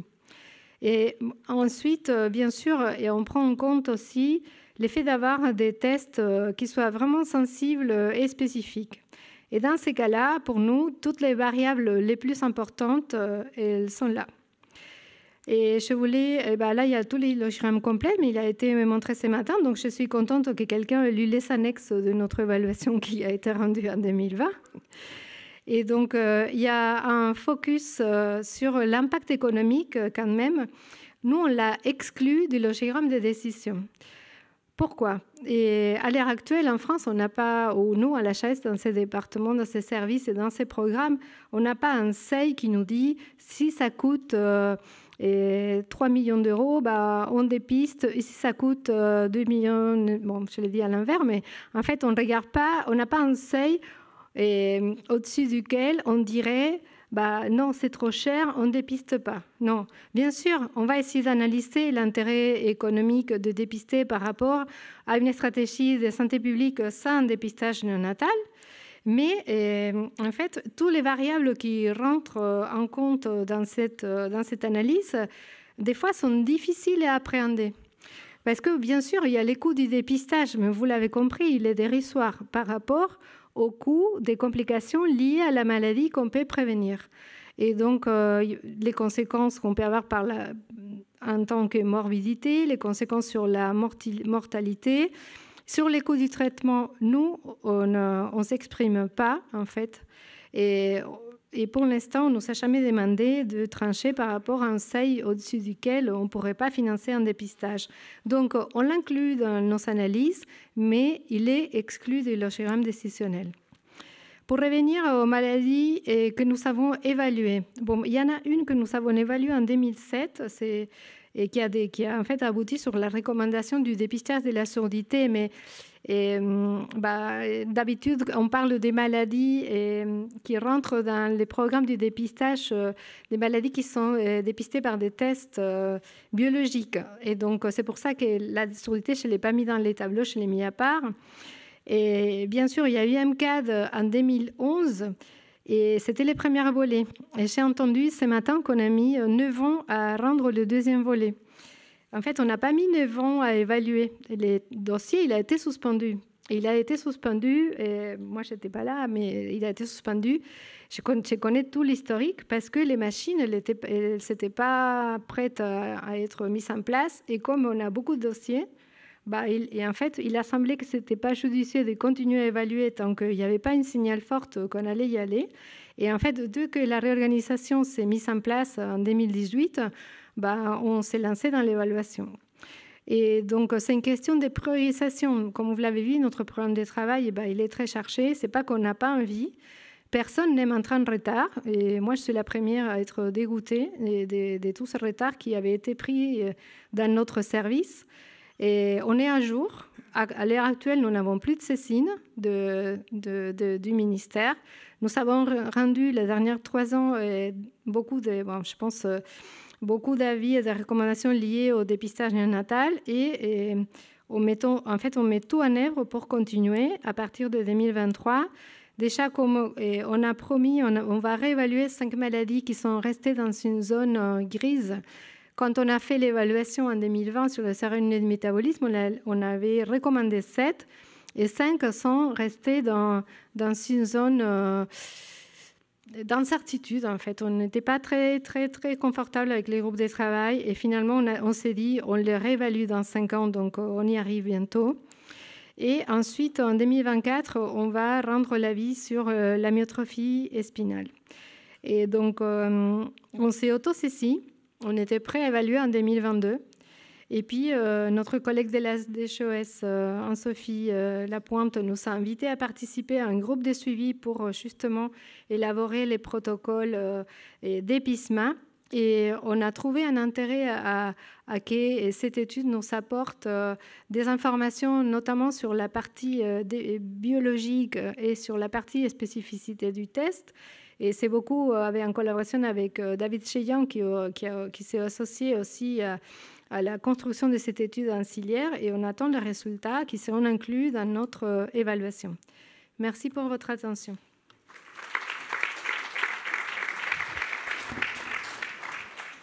Merci beaucoup. C'était une présentation très claire. Merci beaucoup et, et donc très éclairante peut-être par rapport aux questions de ce matin. Avez-vous encore des questions? Il nous reste le temps pour on, va, on va voir le, temps. Je ne me prononce pas sur le nombre de questions dans ce cas. Oui, non. J'ai une question et je vais la compléter en fonction de votre réponse. Vous êtes combien à la HAS pour ce processus d'évaluation? Et vous parlez de du dépistage néonatal Parce que les processus... L'évaluation des maladies pour le dépistage néonatal, en termes de ressources humaines dédiées à, cela. Vous êtes combien? Un ETP et demi euh, voilà. Donc, euh, voilà, vous êtes combien? Un ETP et demi. Voilà. Donc, tout est dit. Tout est dit. Oui. Je voudrais saluer le ministère de la Santé et de la Prévention, qu'on a déjà évoqué ce matin. Si on parle de prévention, il n'est pas acceptable que sur une question de santé publique, aussi importante que celle que nous évoquons aujourd'hui, avec des vies à la clé, il y ait une personne et demie à la haute autorité de santé qui soit en charge de, ces questions-là. C'est vraiment pas possible. Alors maintenant, venons-en euh, au projet d'EPISMA. Je suis absolument consterné de ce que vous venez de dire. Euh, le projet d'EPISMA, il va donner des, résultats à partir du milieu de l'année 2023. Et là, vous nous dites que vous allez commencer l'évaluation en 2024. Pendant qu'on fait tout ça, chaque mois qui passe, en France, il y a trois bébés atteints de la SMA de type 1 qui décèdent parce qu'ils arrivent trop tard au moment du diagnostic. Hmm. Aujourd'hui, la myotrophie spinale, elle commence à être dépistée partout dans le monde.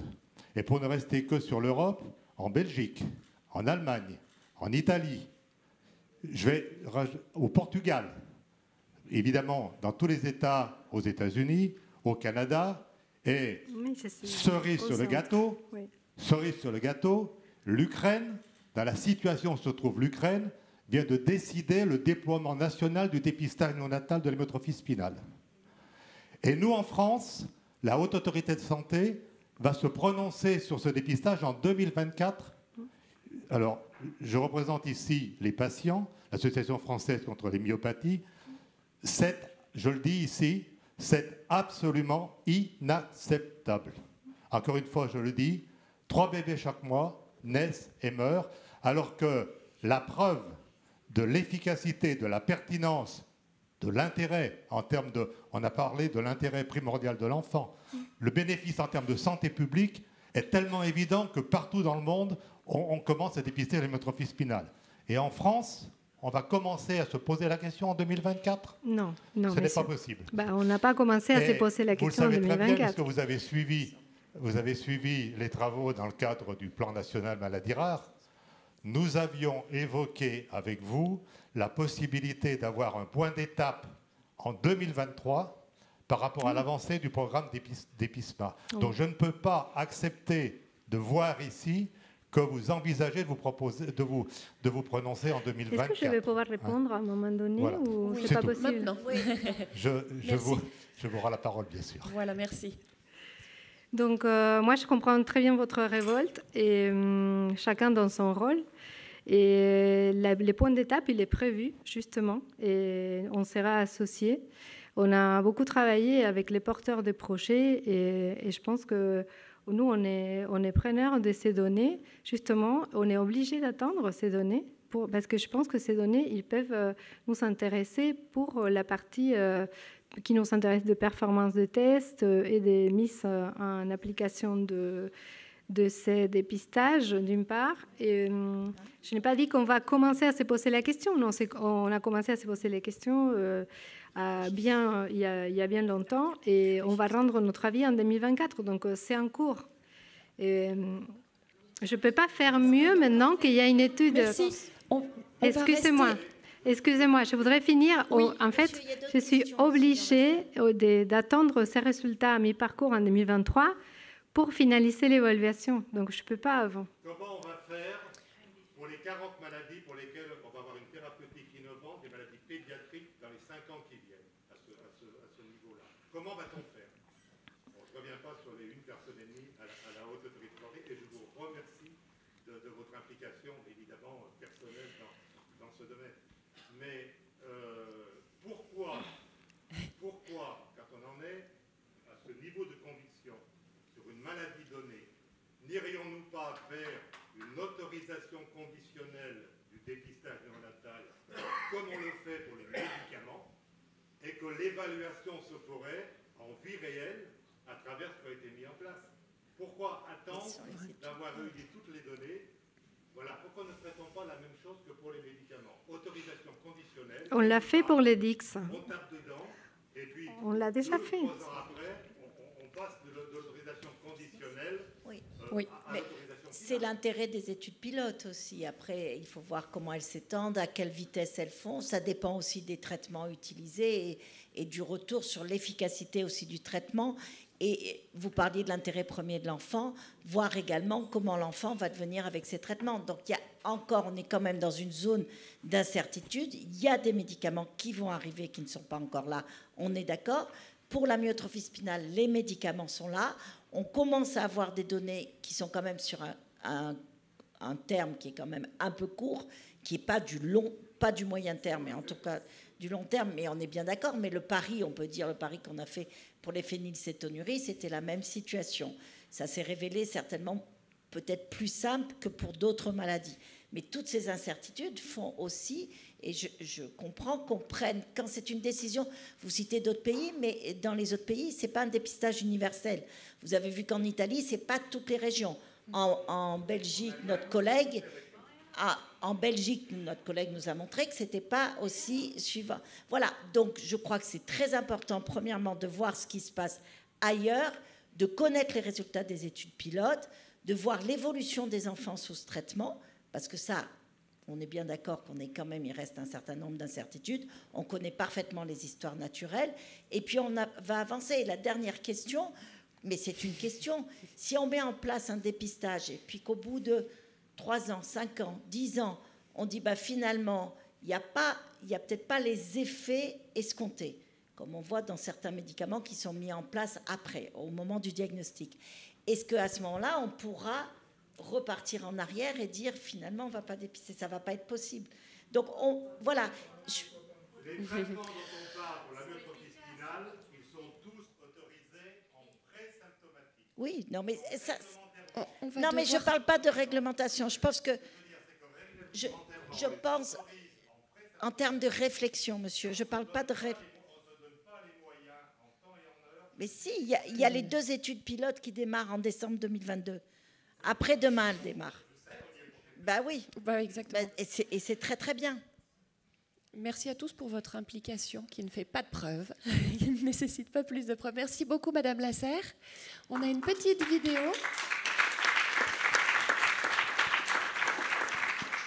On a une petite vidéo du professeur Rex que je vous laisse découvrir. Après, on arrondit la salle oui. pour, faire une table ronde. Ce serait une véritable perte de chance de ne pas euh, faire bénéficier son enfant du dépistage néonatal de la mucoviscidose. La mucoviscidose, c'est une maladie génétique alors qui associe plusieurs manifestations, des manifestations respiratoires, notamment des surinfections bronchiques, et c'est ce qui fait encore malheureusement la sévérité de, cette maladie, associée à des problèmes digestifs, et donc à, l'âge pédiatrique des enfants qui vont avoir des, problèmes de diarrhée euh, quand ils ne sont pas traités, et surtout des, des troubles de croissance, des retards de croissance. Dans la plupart des cas, les bébés vont être diagnostiqués dans les suites du dépistage néonatal de la maladie. Ce dépistage, est organisé ben, dès la maternité, où le bébé va avoir un prélèvement sanguin au talon le plus souvent, vers 2-3 jours de vie. Au bout de 3 semaines, quand il y a une, suspicion de mucoviscidose, un fax est adressé aux équipes, aux médecins des centres de, ressources et de compétences de la mucoviscidose pour appeler les familles et faire venir les enfants à l'hôpital pour confirmer ou pas si le bébé est atteint de la mucoviscidose. On peut faire un diagnostic à la fin du premier mois. Il faut imaginer l'état de sidération dans lequel sont ses parents. On va annoncer aux parents la maladie en cédant beaucoup de schémas, de dessins, d'explications. La réaction des parents, c'est de dire mais je ne comprends pas pourquoi mon enfant est malade, personne d'autre n'est malade dans ma famille. Et quand on leur explique la façon dont peut se transmettre cette maladie génétique, les choses sont parfois plus simples pour eux à accepter. On laisse beaucoup de temps aussi aux parents pour les échanges, les questions et parfois aussi le silence parce que ces parents sont parfois complètement sidérés et très silencieux. On leur dit qu'on aura des occasions nombreuses de se revoir et de rediscuter de tout ça, des manifestations, du suivi, de toutes les questions souvent très pratiques qu'ils vont avoir. Euh, est-ce que mon enfant pourra aller à l'école? Est-ce qu'il aura une vie comme les autres enfants? Est-ce qu'il pourra avoir des enfants lui-même? On leur dit que ça reste une maladie potentiellement mortelle et qu'on a fait des progrès énormes au cours de ces 20 dernières années et euh, au cours de ces 5 dernières années notamment avec des traitements qui sont euh, très efficaces et dont on peut penser d'ailleurs qu'ils vont continuer de bouleverser la prise en charge de ces enfants dans le bon sens avec une amélioration de, leur état de santé. Chaque année, on a entre 120 et 130 enfants qui sont euh, diagnostiqués comme étant atteints de la mucoviscidose en France. C'est des enfants qu'on va suivre très régulièrement, tous les mois jusqu'à 6 mois, puis tous les deux mois jusqu'à l'âge d'un an, puis tous les trois mois toute leur vie ensuite. La mise en place du dépistage néonatal de cette maladie a été un, véritable changement Il faut imaginer qu'avant, les diagnostics étaient faits chez des enfants qui avaient des manifestations respiratoires et digestives, souvent à des moments où les lésions déjà étaient installées. Là, on arrive à une période de la vie de l'enfant où tout un tas de, manifestations, et notamment les manifestations respiratoires, ne sont pas encore installées ou définitives. Donc on a toutes les chances de pouvoir au maximum modifier la trajectoire évolutive de la maladie. C'est grâce à la prise en charge précoce de ces enfants que l'on a pu euh, augmenter l'espérance de vie de ces enfants. Il y a une vraie différence hein, entre euh, l'évolution d'un patient dont le diagnostic est fait sur des manifestations des symptômes qui arrivent tardivement par rapport à un enfant qui aurait été pris en charge très tôt avant même que les symptômes s'installent. On a la chance en France d'avoir ce dépistage néonatal systématique de la mucoviscidose. Je m'occupe d'une famille originaire d'Algérie. Deux enfants atteints de mucoviscidose et les deux pris en charge très très tôt grâce au dépistage néonatal de la maladie. Et je me souviens de ce papa qui faisait notamment allusion au fait que dans son pays d'origine, Algérie, il n'y avait pas de dépistage néonatal et du coup, il avait pu bénéficier de ce dépistage et qu'il en était très, très heureux.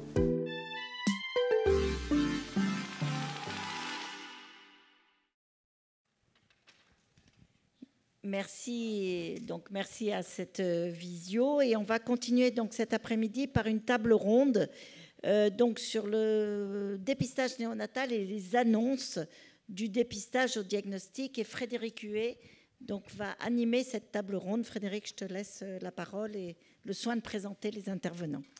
Merci beaucoup.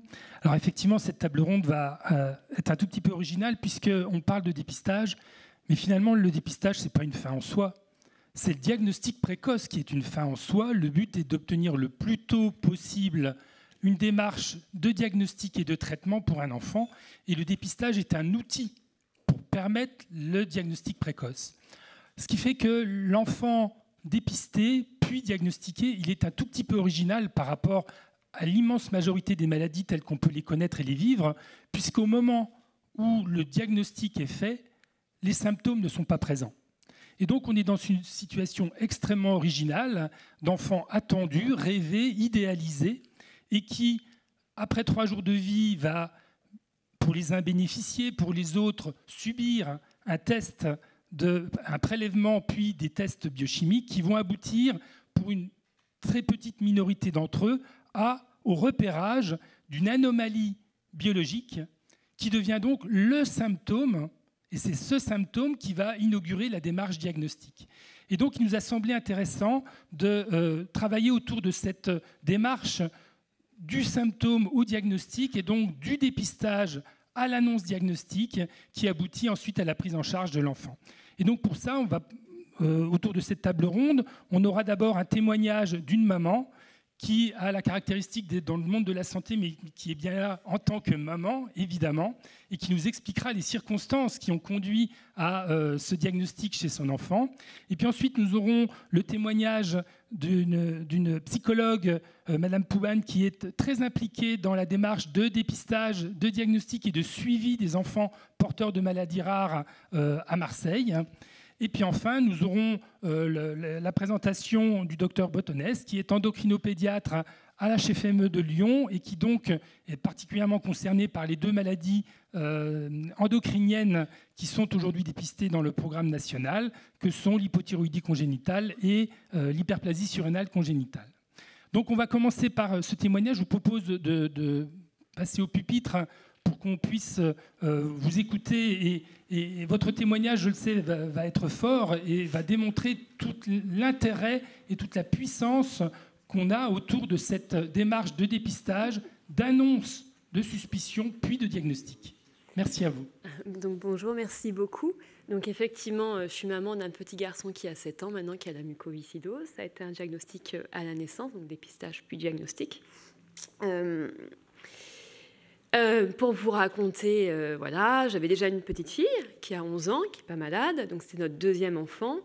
Euh, effectivement, je suis de profession médicale, et donc du coup, quand à l'hôpital, on nous propose de faire des tests pour évaluer des risques, moi c'est sûr que nous, on dit oui, on est très convaincus par l'importance de la santé et le système français.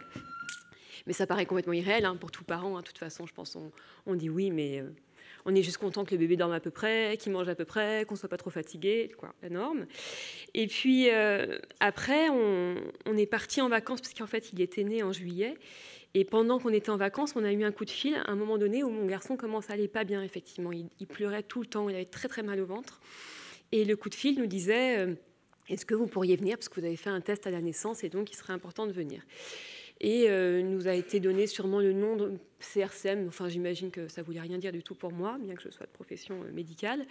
Et, euh, et, voilà, et je ne sais plus si les maladies ont été évoquées, mais toujours est-il que mon mari a dans sa famille une cousine qui est décédée de la mucoviscidose. Et les choses sont ce qu'elles sont. On n'a jamais parlé au médecin. Pas parce qu'on avait honte, pas parce qu'on cachait, parce qu'il y a beaucoup de douleurs familiales dans la famille de mon mari parce qu'il y a plein de, raisons, euh, outre la mucoviscidose de décès, et je pense qu'il a complètement mis ça de côté. Moi, j'ai jamais connu sa cousine, euh, c'est pas des choses dont on parle.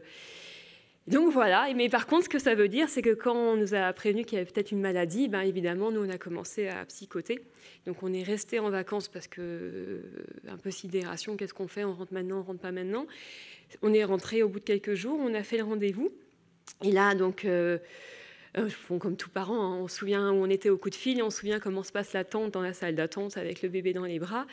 Et euh, on reconnaît euh, moi, je ne pouvais pas reconnaître ce que j'avais jamais vécu, mais mon mari me disait ça ressemble à l'odeur qu'avait ma cousine, l'odeur du chlore, etc. Et là, on a été reçu par une équipe médicale, et moi, je dois avouer que j'ai trouvé ça. Euh, alors évidemment, ça paraît un peu atypique parce que c'est un choc et c'est une énorme douleur, mais l'accueil qu'on a et l'accompagnement, c'est formidable hein, au niveau du centre de référence, euh, à savoir qu'il y avait. Euh, c'était très professionnel, un médecin accompagné d'une infirmière. Ils évaluent tout de suite qui on est comme on, comprenait très bien ce qu'était la mucoviscidose, ils ont tout de suite adopté les, langages, les outils pour nous parler, pour nous accompagner. Euh, tout le monde est extrêmement bienveillant et accompagnant. Euh, laisser le rythme à, le temps de poser des questions.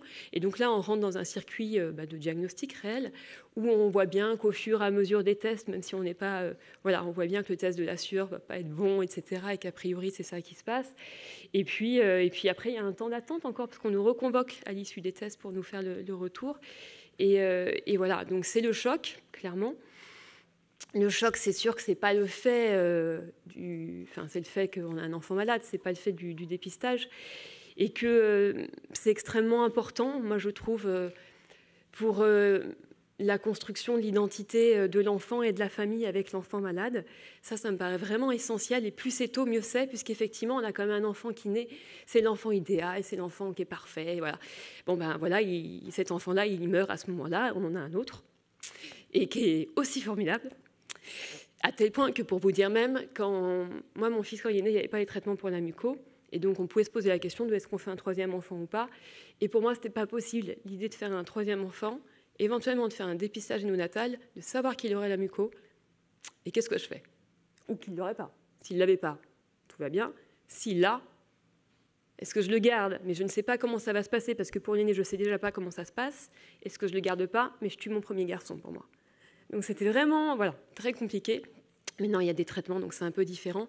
Mais en tout cas, de fait de savoir très tôt euh, qu'on a un enfant malade, pour la famille, c'est extrêmement important. Et pour reprendre ce que disaient un peu d'autres parents tout à l'heure, ça nous permet aussi de rapidement prévenir, d'accompagner, euh, d'évaluer, euh, de, mieux soigner, d'être encadré, de pouvoir donner le meilleur à son enfant, d'augmenter des chances pour l'enfant et pour la famille de rester aussi soudés et de de vivre ensemble. Enfin voilà. Après, mon enfant, c'est un petit garçon qui fait des bêtises, et il est en pleine forme, tout va bien, on est très heureux. J'ai voilà. Mais il faudrait presque dire merci à chaque fois parce que je me dis qu'on a une chance incroyable d'avoir eu ce dépistage néonatal et d'avoir cet accompagnement. C'est vraiment extrêmement important.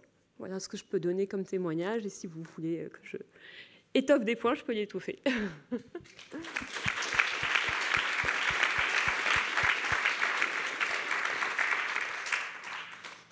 Euh, avant de passer la parole, euh, il y, a, deux points en fait qui sont particulièrement euh, percutants dans votre histoire. C'est le fait d'avoir de bénéficier du dépistage, mais il y avait le secret et le fait de savoir qu'il y avait des personnes hétérozygotes dans votre famille qui n'ont pas les, uns et les autres conduit à transmettre cette information auprès des, des, autres membres de la famille.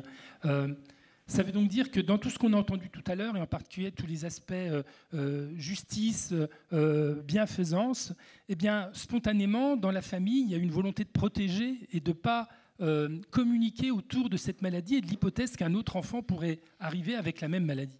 Non, c'est ma, ma, belle-sœur, qui est donc la sœur aînée de mon mari, a fait le dépistage néonatal pour ses propres enfants. C'est vraiment une histoire individuelle. La façon dont mon mari a vécu euh, toute leur histoire familiale euh, fait que je nous vois, euh, je nous vois vraiment avec la, gynécologue aller dire oui, moi, ma grand-mère, elle est décédée d'un cancer de la thyroïde, mon, mon, oncle a ça, et, de tout brasser. Et mon mari ne l'a pas dit. Et moi, je pense que quand j'ai su que sa, sa, cousine était décédée de la mucoviscidose, c'était au début de notre histoire, donc dix ans avant. Et ça n'avait pas de sens pour moi, cette maladie, en quelque sorte, si vous voulez. Enfin, parce que moi, je ne l'avais pas vécu, enfin, je n'ai jamais connu sa cousine, en fait. Et donc, en fait, c'est. Voilà, l'histoire, euh, les histoires sont, faites euh, comme elles sont. J'en ai voulu à mon mari pendant deux semaines. et puis après, il a forcément, il le voulait pas en fait, l'avoir caché évidemment. C'est une. Donc après, je ne en veux plus. Mais par contre, euh, par exemple, au sein de ma famille, ma sœur a immédiatement fait un diagnostic, a fait diagnostiquer ses enfants, pas juste pour savoir s'ils étaient hétérozygotes ou pas. Et mon frère a dit, oh, ben, on verra quand, quand, ma fille sera adulte. Enfin, tout le monde réagit avec son, sa propre compréhension, etc. C'est ça qui est intéressant aussi à voir, je trouve. Est-ce qu'il y a des questions? Madame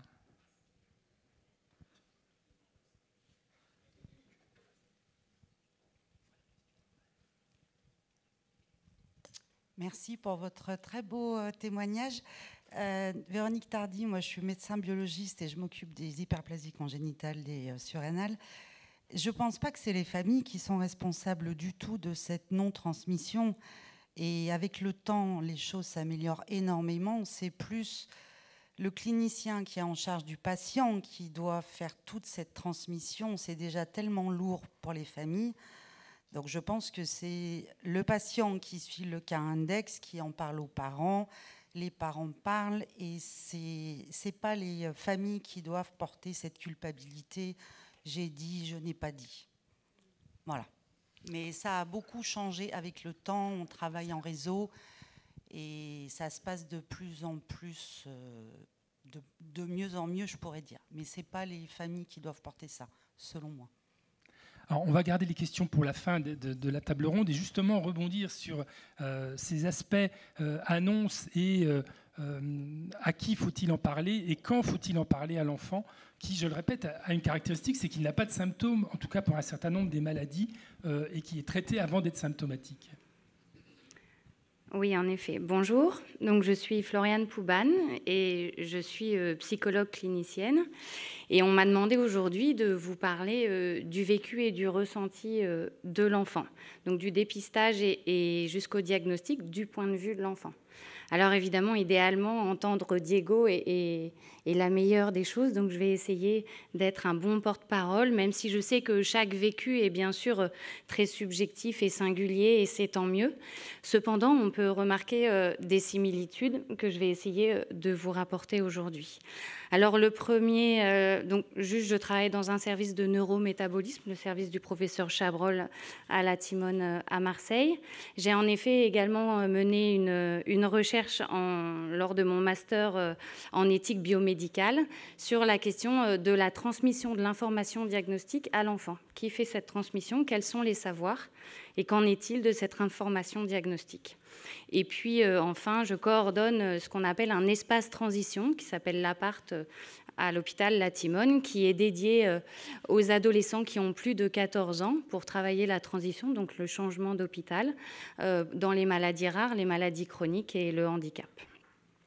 Donc d'abord, quand je demande aux enfants, pour aujourd'hui par exemple, est-ce que tu sais ce que c'est un dépistage néonatal? Quasiment systématiquement, j'ai un non, je ne sais pas ce que c'est. Et je dis, bah alors, est-ce que tu sais comment, comment ça s'est passé pour toi au début? Est-ce que tu peux me raconter? Qu'est-ce qu'on t'a dit? Et les enfants répondent, quand j'étais tout petit, encore vraiment bébé, un jour, ils ont reçu un coup de téléphone. Je vais ici vous donner les quand plus de 80% des enfants m'ont donné les mêmes phrases. C'est ce que je voulais amener ici. Donc j'ai dit très bien. Et là, on voit la différence avec euh, le diagnostic précoce, mais pas le dépistage néonatal, où les enfants disent J'allais très mal, il y a eu un problème avec moi, mais on ne savait pas quoi, donc ils m'ont amené à l'hôpital. Souvent, les pompiers et le SAMU interviennent dans le discours. Et ma mère, elle m'a dit qu'elle avait eu trop peur. Et ensuite, ils ont trouvé et les médecins ont tout expliqué, et après, c'était bon. Et donc je trouvais intéressant là de noter ce que j'avais pas forcément noté dans ma clinique, cette petite différence qui est une grande différence quand même, qu'on s'épargne ce, temps de crise et, cette arrivée en situation aiguë qui est forcément euh, reste euh, une étape, comme euh, on a pu l'entendre, et, qui reste dans les mémoires. Ensuite, du coup, ce que j'ai remarqué dans les discours des enfants, c'est qu'on entend tout de suite et toujours dans le discours. Mes parents savaient comment faire et comment s'occuper moi tout de suite, dès que j'étais bébé. Donc il n'y a pas eu de problème avec moi. Et on entend aussi beaucoup, nous, on a de la chance parce qu'on l'a toujours su. Donc on a cet enjeu du toujours, alors qu'en effet, quand on écoute les parents nous raconter euh, les débuts, on a quasiment systématiquement cette notion du avant et après l'annonce diagnostique. Ça me permet d'enchaîner sur la question de l'annonce diagnostique. Et donc, en effet, il y a quelque chose de tout à fait particulier chez ces enfants, dans le diagnostic très précoce et précoce, c'est que ces enfants ne reçoivent pas d'annonce diagnostique. Et du coup, euh, on sait que euh, cette annonce diagnostique, c'est les fractions, c'est la rupture inaugurale, mais c'est aussi décrit euh, dans les documents comme la rencontre fondatrice du lien soignant-soigné. Et les, enfants le savent bien parce qu'en effet, on entend beaucoup dans leur, euh, dans leur vécu, ils disent, nous, en fait, euh, au début, on n'était pas vraiment là. Nous, au début, euh, c'est les parents qui s'occupent de tout ça avec le docteur. Nous, on était trop petits. Eux, ils étaient là avant nous. Et nous, on est en fait arrivés un peu après. Et donc, il y a cette idée qu'ils ils sont là sans être là au début et que, bien sûr, c'est typique de la pédiatrie, le parent est le porte-parole de son enfant et donc il est aussi, il, a la primauté euh, de la relation et la primauté de l'information. Il reçoit l'information. Et on le voit d'ailleurs, je le vois dans l'espace transition, euh, recevant euh, différents types de maladies. Il y a des parents qui arrivent en disant on a rendez-vous avec le docteur Intel, ou bien Romain a rendez-vous avec le docteur Intel. Et donc, ça va être justement le sujet de le début du suivi et du parcours s'est fait euh, tous ensemble. Et puis, petit à petit, cet enfant va devoir prendre sa place dans le suivi pédiatrique. Euh, et c'est tout à fait intéressant. Ce qui m'amène du coup à la question de euh, la transmission de ce savoir. Alors qu'en est-il? Je demande aux enfants, mais toi, comment tu sais que tu es malade et comment tu sais ce que tu as? Et là, bah, souvent, ça c'est chelou comme question. Donc je dis, je sais, mais du coup, qu'est-ce que tu peux me dire? Et puis, on entend là quasiment à 95%, mais on l'a toujours su. On entend les adultes parler de nous depuis toujours. Donc on le sait, euh, l'information diagnostique est plutôt la transmission de l'information. Elle se fait euh, pour les enfants, ils décrivent le 0-6 ans des micro-annonces subies lors des entretiens médicaux, lors des passages à, l'hôpital. Ensuite, ils parlent du 6-12 ans, où là, ils décrivent une écoute active en consultation et dans tous les échanges, et puis où ils posent la question à la maison, après coup, euh, hésitant de, parler pendant euh, la consultation euh, à leurs parents. Et donc là, ils disent on a besoin d'avoir des réponses. C'est plutôt l'âge primaire en disant parce qu'on va être confronté aux questions des camarades. Et donc là, c'est le moment où il faut savoir y répondre. Et c'est tout l'enjeu là après du, futur questionnement, c'est faire en sorte que cet enfant devenu grand puisse maintenant assumer, répondre, parler de lui et avoir une connaissance de lui-même, de son histoire et de la maladie suffisamment solide pour pouvoir ensuite assumer et son suivi et son parcours de soins, ne pas avoir de rupture, tout ce qu'on connaît sur les enjeux euh, de l'adolescence.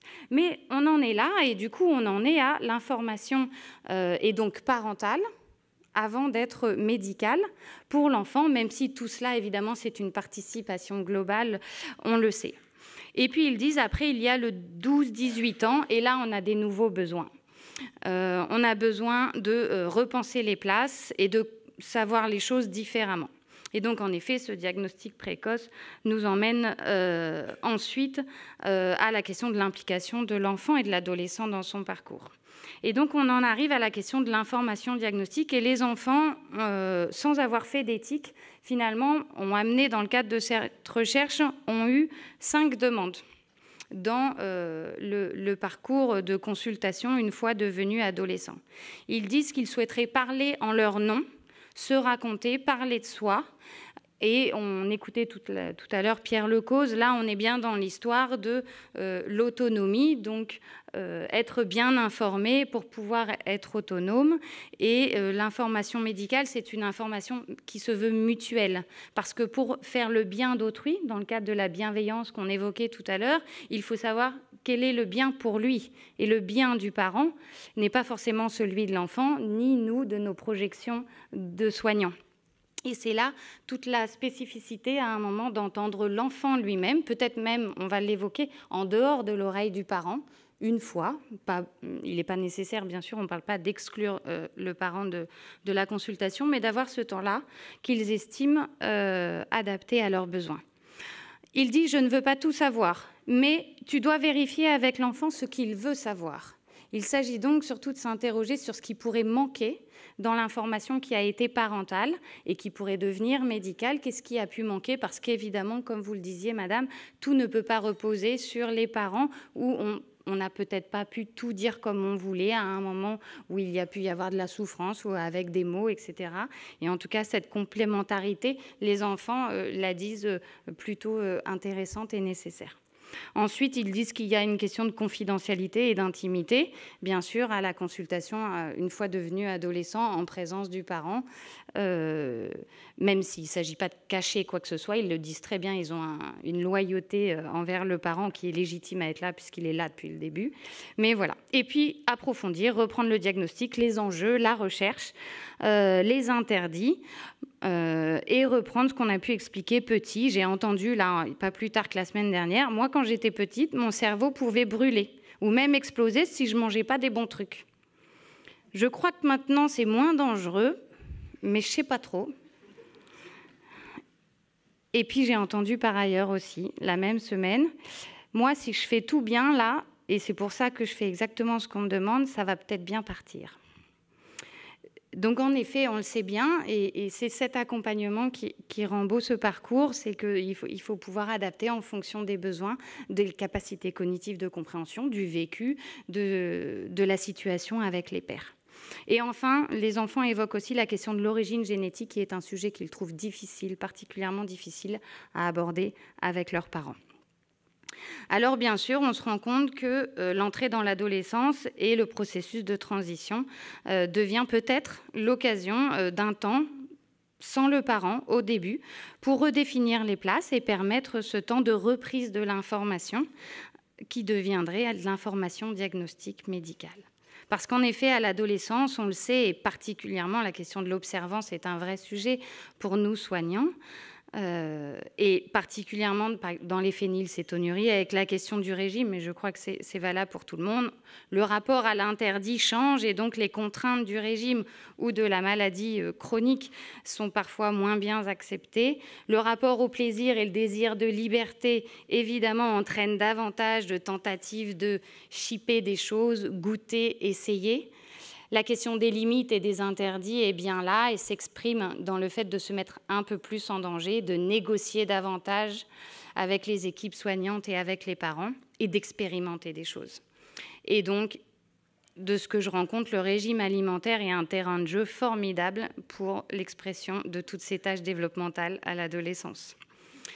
Et puis enfin, c'est attaquer le lien de dépendance qu'impose une maladie chronique, on le sait, hein, ce lien euh, du soin euh, à l'adolescence, et c'est un vrai sujet.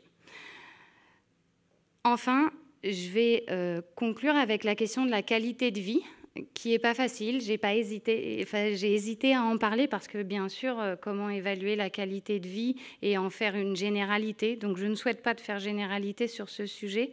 Quand bien même, ce que j'ai retenu, c'est ce qu'on disait tout à l'heure. Ils ont une maladie qui fait partie d'eux. Et je trouve qu'elle est intégrante d'eux-mêmes, mais ils ne sont pas la maladie et que ça, c'est un vrai beau signe de réussite. Ils disent, pour nous, c'est plus facile. On a de la chance, on l'a toujours su et on vit avec. Et ils me disent aussi, moi, finalement, je me sens malade que quand je viens à l'hôpital. Et ça, c'est une phrase qu'on entend pas mal. Euh, et bien souvent, ils disent Moi, j'ai une vie normale. On peut donc voir que globalement, quand même, l'identité est vraiment bien préservée grâce à ce diagnostic très précoce et que euh, l'enfant ne se vit pas comme malade, mais comme ayant une maladie, voire parfois j'ai entendu j'ai une petite particularité et que pour une grande majorité, euh, la maladie est en retrait au bénéfice du développement, de l'adolescence et de vivre sa vie. Merci beaucoup.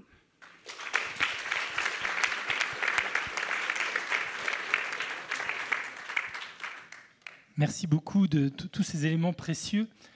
On va maintenant passer à la troisième partie qui est plus médicale, qui est l'exemple des maladies endocriniennes et du parcours diagnostique. À partir du moment où l'enfant est repéré, dépisté, euh, il doit entrer, dans une démarche, cette fois-ci, de diagnostic et de confirmation. Patricia, tu vas donc nous montrer l'expérience des maladies endocriniennes. Merci, merci Frédéric. Euh, juste un petit mot de remerciement pour, tous ceux qui ont eu l'initiative de cette euh, journée, parce que non seulement ça fait connaître le dépistage néonatal, qui est quand même très très peu connu de la population, mais en plus ça met en lumière le travail de fourmi euh, quotidien de ceux qui, qui œuvrent pour cela et euh, le bénéfice à la sortie. Donc merci. Donc on va rester quand même, c'est un topo qui est plus médical, mais qui reste dans, la vraie vie, hein, je dirais, euh, et du coup peut-être un petit peu plus, un peu plus côté soignant. donc je vous l'ai fait en trois actes. Donc le fameux appel téléphonique, hein, donc effectivement qui, qui, a toute son importance, ce sera l'acte 1. Ensuite l'acte 2, c'est l'hospitalisation et le diagnostic, puisque là on n'est plus dans le, dépistage. Et puis ensuite donc ce qui est de l'éducation euh, et du suivi euh, sur lequel je passerai assez rapidement. Donc voilà, l'acte 1, euh, voyez une famille qui n'a rien demandé à personne, tout, va bien. Hein. Ou parfois un tout petit peu moins bien. Hein. Donc là, c'est la, photo de Léopold qui, la veille de l'annonce du dépistage, commençait à avoir, la maman commençait à avoir des petites inquiétudes. Elle le sentait un peu fripé. C'était, c'était pas si, si bien que ça. Et puis, euh, donc, euh, de l'autre côté, euh, avant le fameux téléphone, vous avez le professionnel. Hein. Donc, le professionnel, il reçoit le, fameux fax. Enfin, maintenant, c'est sur le, sur le mail. et donc, ben, là, en fait, il faut tout arrêter. Hein. On, arrête ce qu'on est en train de, de faire. et puis, ben, il faut se mettre à la disposition de cette famille, avec parfois quelques difficultés pour arriver à les joindre. Hein, mais il faut absolument euh, arriver à y arriver, hein, par tout, euh, quelques moyens que ce soit. On a évidemment de temps en temps des numéros qui sont faux ou, qui ne répondent pas. Et donc, il faut faire preuve d'imagination pour y arriver, en tout cas pour les maladies endocriniennes, le jour même. On n'attend pas. Le fameux téléphone, donc là, ça commence. Euh, donc côté parents, euh, je crois que je ne vais pas y revenir. Hein, euh, donc effectivement, tous les parents le disent, ça reste gravé à vie. Hein. ils se rappellent ce qu'ils étaient en train de faire au moment où il y a eu cet appel. tout s'arrête. c'est une sorte de sidération et, en même temps, ben, on leur demande d'être actifs. Hein. Il y a des, pleurs, il y a des manifestations de, rejet. voilà, tout, dans la plupart des cas, tout allait bien jusqu'à ce moment-là. Et côté professionnel, eh ben, il y a un côté, euh, il y a un, challenge hein, finalement, parce que euh, nous, on se retrouve avec un papier. Euh, les parents, au bout du fil, pensent qu'on les connaît, puisque c'est l'hôpital. Hein, l'hôpital les connaît. Ils pensent qu'on a le dossier. Mais en fait, nous, on a, a la date de naissance, le sexe, le poids de naissance, où est-ce qu'il est né, et puis pas grand-chose. Hein. mais il faut donner le change, montrer que voilà qu'on est des professionnels, que c'est pas de la blague, que c'est très sérieux, qu'il faut, qu'il faut venir rapidement. Alors, bon, bah, du coup, on va quand même aussi euh, commencer par poser quelques questions, s'intéresser quand même un petit peu euh, euh, à la famille, à l'enfant, ne serait-ce que pour voir évaluer le degré d'urgence, notamment quand il s'agit d'un enfant pour lequel il y a une suspicion d'hyperplasie congénitale des surrénales. on redit alors on, est sérieux, mais en même temps, on est tout de suite, on manie l'argument un petit peu rassurant. S'il y a un dépistage, c'est que dans le pire des cas, c'est une maladie pour laquelle il y a un traitement. Donc euh, ça, c'est vraiment important au moment de ce téléphone euh, de montrer que voilà qu'on connaît la situation et que on peut, on, va pouvoir rapidement dire euh, aux parents vers quoi ça va, ça va arriver. Et donc il faut pas, bien souvent, il va falloir répéter, redire que les parents ont l'air d'écouter, puis tout d'un coup, c'est attendez là, mais qu'est-ce que vous m'avez dit? Il y a beaucoup d'émotions, hein, donc euh, il faut vraiment euh, prendre le temps, obliger les gens à prendre un, stylo pour écrire notre numéro de téléphone, écrire l'endroit où, euh, où on les attend. Et puis, bah, de temps en temps, quelques heures après, bah, ils sont toujours pas là. Il va falloir les re-appeler. et puis, euh, ah bah, je n'étais pas sûre que c'était vraiment si sérieux, etc. Hein. donc, euh, voilà, là, il y a quand même un, super enjeu. Et euh, les familles s'en rappellent. Mais parfois, nous, il y en a certains, on s'en rappelle bien aussi de ces fameux appels téléphoniques. Alors ensuite, donc la famille arrive. Euh, donc, euh, je, mélange hein, hypothyroïdie et hyperplasie, hein, même si c'est tout un petit peu différent. En tout cas, dès qu'ils arrivent, il va falloir les, accueillir. Il y a une équipe. Euh, et donc, c'est important de cette prise en charge, qu'on leur explique ce qui va se passer pour quand même euh, rassurés, et puis par des, professionnels qui ont l'habitude de ça, et ça, les, patients, le les familles le perçoivent bien, et, euh, ça, ça, permet aussi de les, de les poser un peu.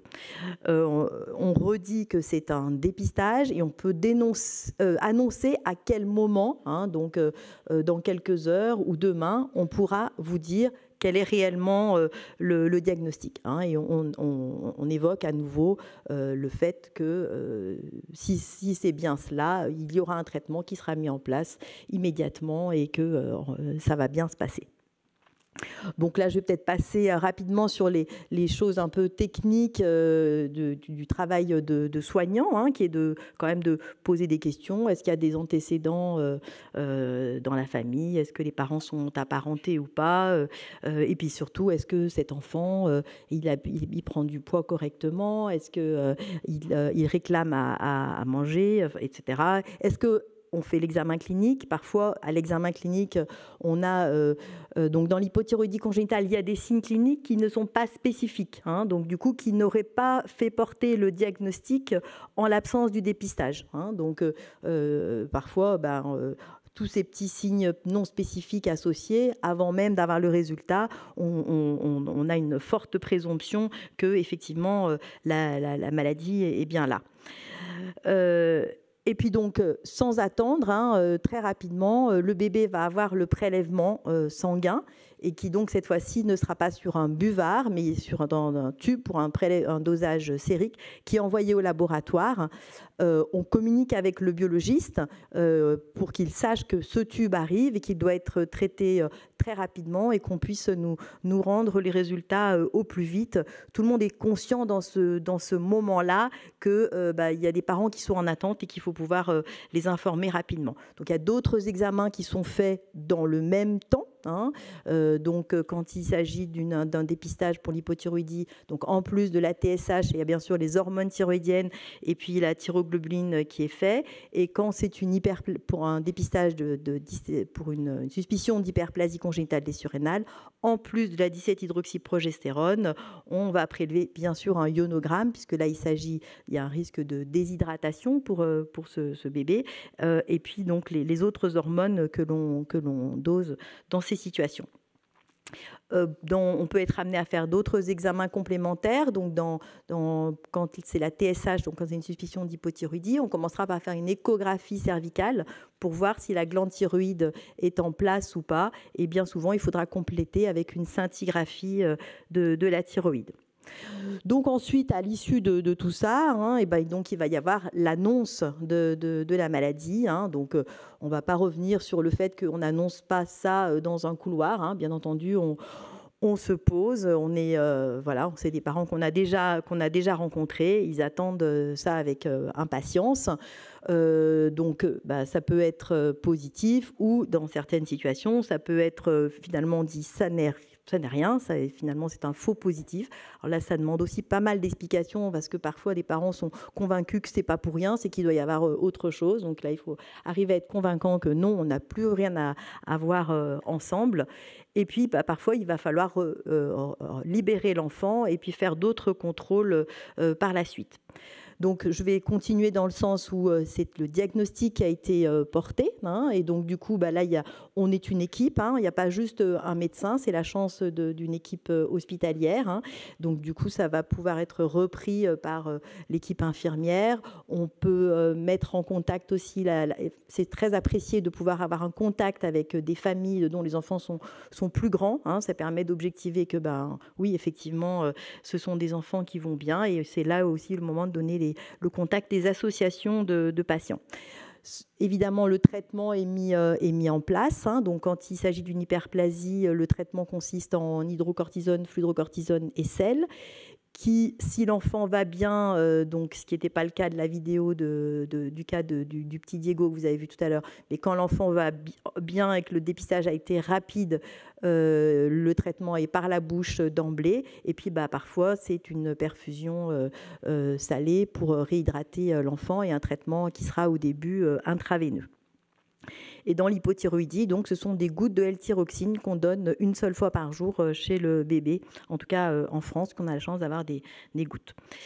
Euh, donc, il y aura aussi le temps de, la, de la, génétique. Hein. On va proposer aux, familles de faire des, des examens génétiques qui s'impose particulièrement dans l'hyperplasie congénitale des surrénales. Je parle sous contrôle de Véronique Tardy, puisque on, ça va déboucher ensuite sur euh, un, conseil euh, génétique, notamment pour euh, les enfants à venir.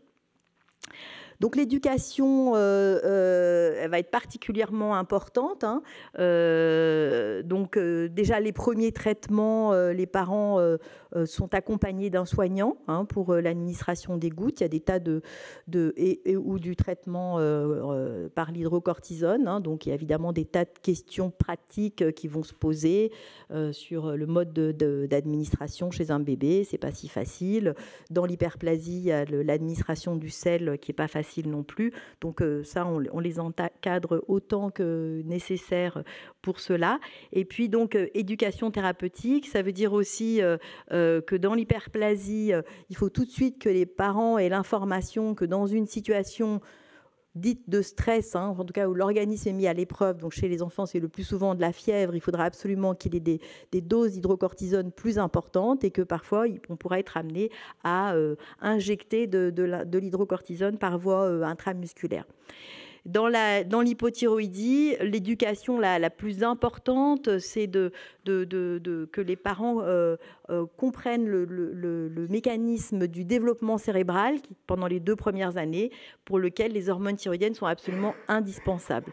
Et une fois qu'ils ont compris cela, euh, c'est plus la peine de leur expliquer que ce traitement doit être administré absolument tous les jours. Hein. Ils ont bien compris, comme disait Michel David, qu'ils ont le cerveau de leur enfant entre les mains. Et ça, ils, sont très, très. Euh, de toute façon, les parents sont toujours euh, responsables du devenir de leur enfant. Ensuite, il va se poser la question de, comment va être fait le suivi. Euh, je vous entendais tout à l'heure, c'est vrai que souvent il y a un attachement avec ces premières heures et parfois on a un peu du mal à, euh, les renvoyer euh, vers d'autres lieux pour, euh, pour le suivi, hein, mais en tout cas, il n'est pas indispensable qu'il soit fait au CHU. En revanche, en France, il ne me paraît pas concevable de laisser le médecin traitant gérer seul un traitement, même si l'hypothyroïdie, ça, ça, paraît assez simple. je pense qu'il y a absolument besoin d'une équipe pédiatrique. Le traitement, il est donc à vie. Hein. Donc, euh, il y aura le suivi pédiatrique et puis ensuite euh, la transition euh, vers l'âge adulte. Et tout au long de ce parcours, il y aura un suivi médical et des examens biologiques pour l'adaptation du, traitement. Et effectivement, cet enfant n'était pas là au moment de, du diagnostic. Hein. et donc, du coup, il va falloir, avec des mots adaptés, tout au long de son parcours, pouvoir lui redire ce qui s'est passé. Hein. et donc, effectivement, euh, c'est les souvenirs de la famille, hein, le coup de téléphone, etc. Euh, donc finalement, nous, notre challenge, hein, c'est de montrer que c'est quelque chose qui n'est pas forcément grave, mais en tout cas qui est absolument sérieux et dont la prise en charge doit être urgente. Hein, voilà. et puis, j'ai envie aussi de mettre en balance cette terrible épreuve de, l'annonce hein, au départ, parce que pour des parents, ils nous le disent bien, que c'est absolument intolérable l'idée qu'on puisse annoncer une maladie qui est pour toute la vie chez ce petit enfant qui n'a que quelques, quelques jours. Et pourtant, ensuite, euh, ce sont des enfants euh, qui ont une vie euh, complètement normale. Hein. Donc, malade, malade ou pas malade. donc là, le, fameux Léopold, dont le diagnostic avait été, enfin, le, résultat du dépistage était tombé un peu tardivement à J10 hein, du fait d'un week-end de Pâques, qui est maintenant à 14 ans et qui remercie le dépistage néonatal. Et donc, malade ou pas malade, moi j'avais envie de, dire aussi euh, euh, des propos d'enfants euh, qui étaient bah, Moi, non, je suis pas malade, mais si je prends pas mon traitement, alors là, je vais être malade. Et j'ai trouvé que c'était, c'était assez, assez joli aussi. Voilà, je vous remercie.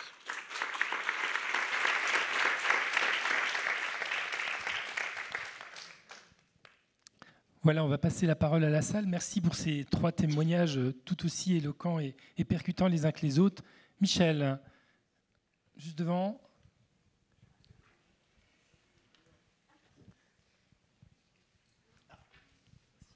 Oui, merci. Je voulais juste rajouter, parce que dans ma carrière, c'est des centaines de coups de téléphone que j'ai passés aux familles. Donc, euh, et euh, il y a un personnage qui est important, que vous avez juste cité à la fin, mais qui n'avait pas été qu'on n'avait pas cité jusque-là, c'était le médecin de famille, c'était le médecin traitant.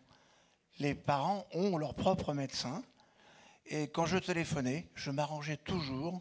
Premièrement, j'évitais de donner le nom de la maladie pour laquelle c'est un dépistage, parce qu'annoncer une maladie au téléphone, là, effectivement, c'est même terrible. Et donc, je, je, je, parlais de problèmes techniques au maximum et qu'il fallait refaire et tout. Et j'évitais au maximum de prononcer un nom de maladie. Et je demandais toujours le nom du médecin de famille. Parce que qu'est-ce que font les parents? Ben, Les parents, ils prennent leur téléphone, ils appellent leur médecin de famille. Et, et vous vous faites avoir. Parce que vous faites avoir à ce moment-là. Et donc moi, je préférais à ce moment-là aussi téléphoner tout de suite au médecin de famille pour leur dire, voilà, l'enfant va, aller là pour telle ou telle maladie, etc., pour qu'il soit informé. Donc ça me paraissait, très, ça me paraissait important. La deuxième chose également, c'est une fois que le diagnostic est posé, c'est bien évidemment, et tout le monde le fait, c'est d'informer la maternité. Très important que la maternité sache, et, et bien le retour que bah, ce qu'ils ont fait, bah, ça, a servi à quelque chose d'important. Et donc toujours réinformer euh, aussi les, maternités. Bien sûr, tout le monde le fait, ça. Merci. Merci Michel. Je crois que ces témoignages montrent plusieurs choses. D'abord que ce dépistage, c'est pas simplement un carton avec euh, un, dosage biologique derrière. Il y a toute une organisation, toute une infrastructure à la fois administrative, euh, technique puis médicale qui aboutit finalement à, ce que l'équipe accompagne la famille et l'enfant euh, de son dépistage vers son diagnostic. Et ces éléments-là sont très importants et euh, justifient d'être particulièrement euh, observateur du processus et de vérifier en aval que tout s'est bien déroulé en amont. Et les témoignages des parents en particulier nous permettent de modifier nos, fonctionnements. Et le fait d'agréger des maladies de façon euh, je ne vais pas dire exponentielle, ça serait exagéré, mais en tout cas, l'accélération du nombre de maladies euh, intégrées dans le dépistage va faire qu'il faudra être de plus en plus euh, vigilant vis-à-vis du processus et ne pas entrer dans une espèce de routine et de démarche de, de, dépistage standard. Chaque malade est un nouveau patient avec une nouvelle organisation à mettre en œuvre et ça nécessite vraiment une infrastructure tout à fait rodée et bien organisée. Il y avait Jacques puis David. Merci beaucoup. Donc, euh, je voulais rebondir sur les. Bien sûr, avec Michel, on a une longue euh, histoire commune sur la mucoviscidose. Et justement, je voulais rebondir sur une réflexion de Madame Pouban sur le lien de dépendance, en sachant que euh, ça fait 40 ans qu'on dépiste la mucoviscidose à Caen. presque autant à Rennes. Et on a eu beaucoup d'histoires pour convaincre que c'était une maladie qui était soignable. Au début, on disait mais pourquoi vous vous dépistez? Et maintenant, nous, avons, et donc c'est le côté de, psychologue, une, une, autre histoire, parce que le lien de dépendance que vous avez dit commence à, à disparaître avec certains traitements et avec les nouvelles molécules par un certain laboratoire qui transforment complètement. Et, on a d'autres conséquences psychologiques actuellement, justement, chez ces enfants qu'on a dépistés, qui sont adultes en effet, et ils ont un traitement qui font disparaître quasiment toute la maladie, si bien qu'ils ne sont plus malades. Et là, c'est une autre histoire par rapport aux histoires d'hyperplagie congénitale et surrénale ou hypothyroïdie, parce qu'ils ont été quand même très malades à un moment et ils ne sont plus malades. Donc je ne sais pas si vous avez une, réflexion à faire là-dessus. Et le deuxième point, c'est que la mucoviscidose a été quand même fantastique parce qu'on a mis quand même, euh, je dirais, euh, une cascade organisationnelle financée. Là, je crains, avec l'extension des dépistages que l'on nous annonce quasiment toutes les semaines, la drépanocytose à tout le monde, les maladies métaboliques, c'est qu'il faut, même si ça coûte rien, soi-disant, je reprends la, phrase, euh, il n'y avait pas de seuil économique et que en fait ça coûtait pas grand-chose euh, le dépistage, ce qui est vrai pour l'analyse, mais derrière la cascade d'organisation qui était parfaitement euh, décrite donc par Madame Bretonnès justement en train de dire on arrête tout et il faut essayer de joindre des parents et c'est très compliqué. Il n'y a pas beaucoup de métaboliciens et il faut quand même réfléchir sur financer euh, une, une, je dirais, quelque chose d'organisationnel ensuite, comme la mucoviscidose. Merci Jacques. C'est vrai que la muco était préfiguratrice de tout ce qui s'est déroulé après avec les maladies rares. Et euh, s'il pouvait y avoir les mêmes moyens pour toutes ces maladies, ça serait remarquable. Alors oui, je connais pas bien la mucoviscidose en effet, mais vous avez tout à fait raison. Ce lien de dépendance, on sait qu'il est en train euh, euh, de changer, mais euh, il y a aussi cette dépendance à la routine de venir. Et, c'est vrai qu'à l'adolescence, c'est aussi ça qui se joue, notamment dans les maladies rares, avec la distance parfois, et donc du coup ce que ça représente pour l'adolescent. Mais vous avez tout à fait raison, la question de la dépendance, elle se, elle, se, elle change, elle s'étire autrement, et elle s'exprime autrement. Et du coup, euh, elle vient se jouer autrement euh, dans le développement euh, du jeune. Noé. Oui, merci beaucoup pour, tous ces témoignages. Je voulais juste, ça illustre un, fait, c'est que le dépistage ne s'arrête pas à un test biologique. C'est que souvent, quand on regarde dans tous les pays, on a l'impression qu'il suffit de rajouter un petit truc comme ça et on fait un, nouveau dépistage. Et aux États-Unis, je ne veux pas être réducteur sur les États-Unis, sur le travail de la prise en charge des patients, euh, il y a une vision très biologique de l'affaire. Et donc, euh, ce n'est pas pour rien que c'est le Collège des généticiens américains qui a fait euh, la liste. Donc il y, a une vision très biologique de l'affaire et que bah voilà, on rajoute des maladies, on instruit le dossier, c'est technique, c'est fait, on peut le faire, on ne peut pas le faire, etc. Alors qu'en Europe, on a une vision probablement un peu différente où on intègre dans le, programme de santé publique qui porte bien son nom tous ces aspects-là. C'est-à-dire qu'il y a un aspect technologique, et Madame Lasserre l'a bien montré, la biologie, elle intervient à la fin de votre flowchart. D'abord, il y a tout le reste, et à la fin, si déjà on a répondu à tout le reste, alors on regarde s'il y a un test biologique. Les Américains, ils font l'inverse. Est-ce qu'il y a un test biologique? Oui, alors je, je vais commencer à réfléchir. Et c'est intrinsèquement la différence et qui explique pourquoi est-ce qu'on a des pays qui font tout ce qu'il est possible de faire, et d'autres qui ont une vision peut-être plus complexe, peut-être moins rapide. Peut-être qu'il faut accélérer, on est d'accord, on en a déjà parlé, mais qui fait quand même la différence, et on voit bien la complexité euh, dans la mise en place d'un dépistage, ce n'est pas juste faire un diagnostic précoce. Donc merci beaucoup pour ces témoignages. Merci David. Pour appuyer ce que tu viens de dire, 25% des enfants dépistés aux États-Unis n'ont pas de suivi derrière. Donc ça veut bien dire qu'il faut que le procès soit mis en œuvre jusqu'au bout. Il y avait un doigt juste derrière toi tout à l'heure, voilà là-bas. Madame Merci. Euh, je voulais revenir sur la vision du patient. Il se trouve que moi, je fais partie de, des 2261 qui ont été, qui, heureusement, dépistés phénicétonuriques. Euh, je partage tout à fait ce qui a été euh, euh, exposé comme constat, qui est que je pense que d'un point de vue patient, on ne peut pas exprimer le fait qu'il y ait un même choc que celui qui a été vécu par les parents, si ce n'est simplement le récit qui nous en est fait. Et je pense que je peux retrouver exactement la même sémantique que celle que vous avez exprimée. L'autre chose que je voulais partager, c'est que d'aussi loin que je me souvienne, j'ai toujours eu dans les consultations avec mon pédiatre et mon équipe médicale un moment seul à seul avec euh, l'équipe médicale. Je ne sais pas vous dire si c'était une volonté, de mes parents, une volonté du pédiatre ou un peu des deux, probablement un peu des deux, j'imagine. Je pense que c'était clé, euh, vraiment. Et la dernière chose que j'avais envie de, partager avec vous, c'est qu'il se trouve que j'étais la première d'une famille euh, où mes parents voulaient avoir une famille nombreuse. Euh, bon, évidemment, choc du diagnostic, etc. Euh, pendant quelques temps, je pense que leur, rêve s'est un petit peu éloigné, puis finalement est revenu. Euh, donc ils ont eu ensuite deux enfants qui n'étaient pas phénicétonuriques et puis ensuite ils se sont posé la question à, quel point on veut une famille nombreuse, vraiment nombreuse. donc la question du quatrième, elle n'est pas venue tout de suite puis elle est finie par arriver. Mais ils avaient 10 ans de plus et ils se sont tous, les deux auto-convaincus qu'il y avait de très très fortes chances que ça soit un enfant phénistonurique quand même. Ils en avaient eu deux qui ne l'étaient pas. Le premier y était. Bon, le dernier le sera, c'est à peu près sûr. Est-ce qu'on est capable d'assumer? On a 10 ans de plus, on a déjà trois enfants. Bon. Tout le monde s'était auto-convaincu que ce serait un enfant phénistonurique. Je pense que c'est venu jusqu'à moi.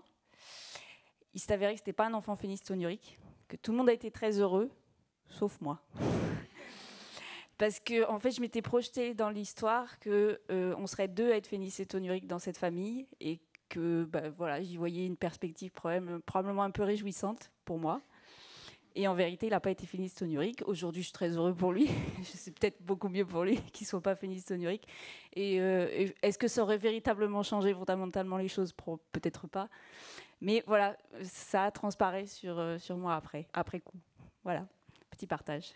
Merci beaucoup.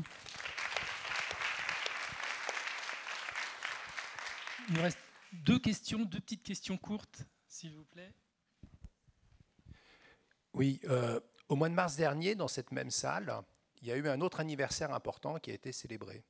C'était l'anniversaire des 20 ans de la loi sur les droits des malades. Et dans cette loi sur le droit des malades, il y a quelque chose qui est essentiel, c'est le droit à l'information.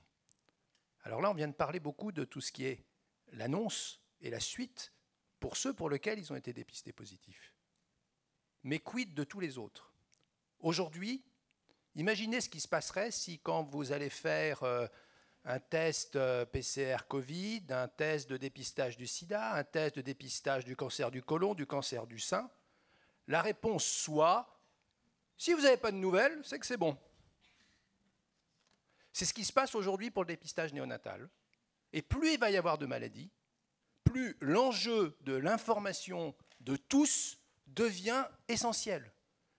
Et quand j'ai vu ce matin la vidéo sur le parcours du buvard, où on voyait ces difficultés de ces trucs écrits à la main, où on n'arrive pas forcément à lire, euh, quand on sait le contexte des 5 millions de plis qui sont perdus par la poste euh, chaque année, vraiment la question qui est de se dire, mais finalement, euh, ça a bien été fait le dépistage sur mon gamin, et pour lequel on n'a aucune réponse possible.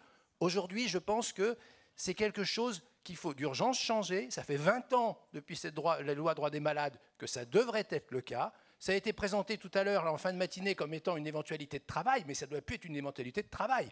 On est ici au ministère de la Santé pour les 50 ans. Rattrapons les 20 ans de retard depuis cette loi droit des malades pour que ce droit à l'information soit réel pour tout le monde. Je vous rassure, c'est un objectif pour tout le monde. Assurer aussi euh, l'ensemble de l'exhaustivité réalisée auprès de toutes les décences. Donc un buvard qui n'est pas arrivé, les CRDN rappellent les maternités en demandant où est le buvard. Et si le buvard n'arrive jamais parce que le pli peut effectivement malheureusement avoir été perdu, l'enfant est reprélevé. J'entends bien qu'il y a une petite conséquence, hein, euh, mais il est reprélevé. Donc euh, normalement, et, je, je l'assure, c'est plus que normalement, l'ensemble des buvards arrivent au CRDN. Une dernière question, Michel. Pardon. je voudrais faire un, commentaire parce que là aussi, apprenons des autres maladies, apprenons de l'étranger. Donc, si vous vous baladez à Pékin, au centre de dépistage néonatal de Pékin, vous avez des gens qui viennent à des bornes et qui récupèrent les résultats négatifs. Ils sont tellement nombreux qu'on ne peut pas leur envoyer, mais ils ont la possibilité de récupérer comme ça leurs résultats négatifs. Donc, c'est bien sûr un objectif, bien sûr, mais ça va avec une informatisation de haute qualité qui doit être améliorée pour faire ça. Et ma remarque, c'est une remarque d'échelle, et ça, vient avec ça, parce que c'est l'échelle du, du, dépistage. Et nous, on vit ça encore plus peut-être en Ile-de-France, avec 180 000 buvards année et 25% de la quantité du dépistage néonatal. C'est que quand on dit on va lancer cette nouvelle maladie, ça veut dire que dans la filière d'aval, il faut qu'à Necker, parce qu'ils ne seront plus répartis sur toute l'Île-de-France, on puisse convoquer 185 enfants chaque année de plus vous imaginez que dans le contexte actuel de l'hôpital, c'est certainement quelque chose de compliqué. C'est un tout petit peu plus simple. Je ne néglige pas que dans d'autres régions, ça soit aussi compliqué, mais c'est particulièrement compliqué pour l'île de France compte tenu du volume. Et ce que dit monsieur a à voir aussi avec le volume du dépistage et donc avec l'informatisation, avec les moyens qui vont avec, etc. Merci en tout cas de cette très belle table ronde. Merci beaucoup. Merci, effectivement. C'était très riche. Très riche et très riche en émotions. Merci beaucoup. Ça nous a bien replacé l'enfant au cœur du dépistage néonatal et non effectivement le, le dosage en lui-même, même si on apprend que le labo a bon dos parfois. Mais euh, pour, euh, pour euh, se justifier, effectivement, on entend souvent ça. Et, les labos veulent bien qu'on dise que c'est le résultat qui est peut-être à refaire. Allez, mais bon, le labo a bon dos. on peut peut-être clôturer Voilà. Donc effectivement, on n'a pas vu le, temps, le temps passer parce que je crois qu'il y a eu, euh, ça a été, enfin, et partagé par tout le monde, extrêmement passionnant dans tous les sens du terme. Je crois que cette notion de dépistage néonatal et de santé publique, c'est quelque chose qui nous concerne tous, quel que soit finalement notre, de, notre rôle dans le cadre de ce dépistage, qu'on soit soi-même malade, qu'on soit parent d'enfants malades, qu'on soit des soignants dans la grande équipe des soignants, qu'on soit des représentants des associations. Je pense que tout le monde, qu'on soit des administratifs au sens donc utilisé ici au sens du, du ministère, tout le monde est absolument convaincu de l'importance de ce dépistage et quand même, on peut dire que ces 50 dernières années ont été, ont été dans le sens d'un intérêt, un intérêt majeur pour l'enfant. Alors certes, les 50 premières, euh, prochaines, pardon, pas premières, mais prochaines années vont être euh, aussi captivantes. Certainement très précoces, des choses vont bouger et commencent à bouger, vont encore plus, et on va voir, on l'a dit, des nouvelles maladies dans le champ des maladies neuromusculaires, mais dans d'autres champs, dans ce champ des maladies rares. On parle d'un chiffre qui est peut-être pas toujours exhaustif, de 8000 maladies qui constituent les maladies rares. Est-ce qu'un jour ces 8000 maladies seront dépistées à la naissance? C'est une question qui reste largement ouverte. Mais comme on l'a dit, et ça, David, merci beaucoup pour ta réflexion, c'est pas uniquement un test biologique, c'est tout ce qui va derrière. Et ça aussi, ça nécessite une organisation. Et quand je dis c'est une organisation, c'est pas. Alors moi, j'irai plus loin que vous, Monsieur Côté. C'est pas que le ministère de la Santé, mais c'est une organisation globale de la prise en charge des malades dans une société. Et il faut absolument qu'il y ait un débat, un débat ou en tout cas un avis qui soit sociétal sur qu'est-ce qu'on va faire des enfants, des enfants qui deviendront des adultes porteurs de maladies rares, pas uniquement dans le soin, le parcours de soins, mais le parcours de vie qui est, euh, euh, pour l'enfant, ça va commencer par l'école, puis après le travail et compagnie. Donc le champ reste énorme. Donc je souhaite beaucoup, beaucoup de, de courage, beaucoup d'engagement. Voilà, la notion d'engagement me semble aussi très importante euh, de la part de ceux qui vont venir pour les 50 premières années, euh, prochaines années, mais vraiment, c'est, j'ai du mal à quitter les, dernières, et, qui ont, et pour lesquels il reste encore un boulot absolument fantastique à effectuer. Merci en tout cas, merci de la part de, du, COPIL. Je pense que vous allez avoir, euh, vous allez dire un petit mot, mais en tout cas un grand merci. On a imaginé, ça fait un an qu'on travaille sur cette semaine du, cinquantenaire et c'était un petit peu aujourd'hui l'événement clé. Et merci pour ceux qui étaient là. Et je sais qu'il y en a beaucoup qui sont en visio, je crois plus de 200, m'a-t-on dit. Donc euh, voilà, on peut dire que c'est une franche réussite. Et ce qui est important, c'est qu'on se retrouve à nouveau pour discuter, avancer, parfois un peu ferrailler, mais c'est comme ça aussi qu'on avance. Voilà, les, les consensus d'un coup, ça n'existe pas, c'est pas la vie. La vie, c'est fait on va en avant, parfois on va un peu en arrière, parfois un peu sur le côté, mais l'objectif est le même, c'est que vraiment les enfants aillent mieux. Merci beaucoup et bon retour chez vous.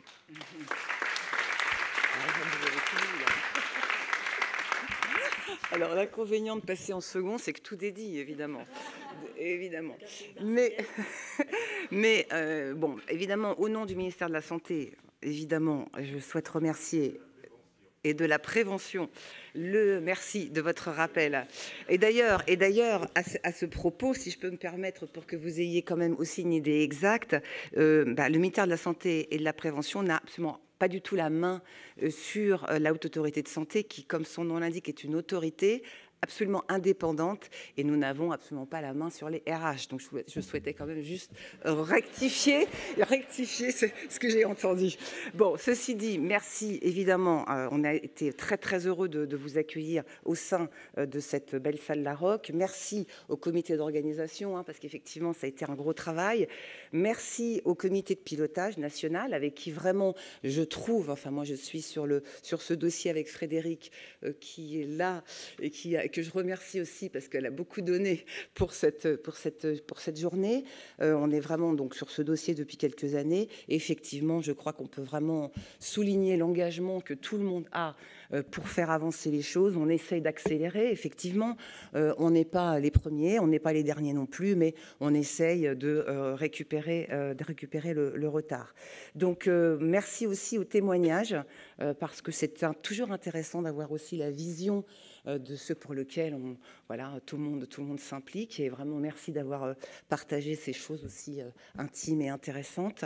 Merci à tous ceux qui se sont inscrits en, visioconférence. Je vous rappelle que les, interventions ont été filmées, qu'elles seront donc disponibles en postcast et que vous pouvez, si vous voulez, faire visionner et faire transmettre cette information pour les collègues qui n'auraient pas pu participer à, et écouter autour de la journée et qu'elles seront disponibles pendant plusieurs mois euh, sur le site du ministère de la Santé. Donc n'hésitez pas à partager et à, visionner.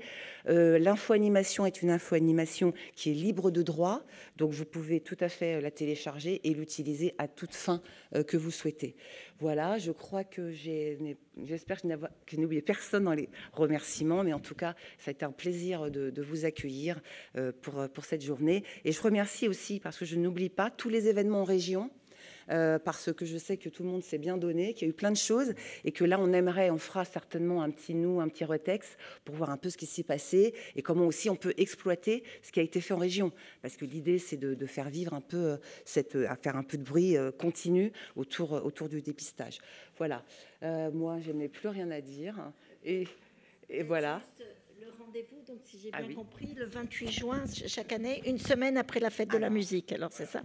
Voilà, donc tous les 28 juin, donc euh, un événement sur le dépistage néonatal avec toutes les avancées à venir, à commencer 2023, 2024. À plancher encore, donc voilà. On a du travail. Merci à tous.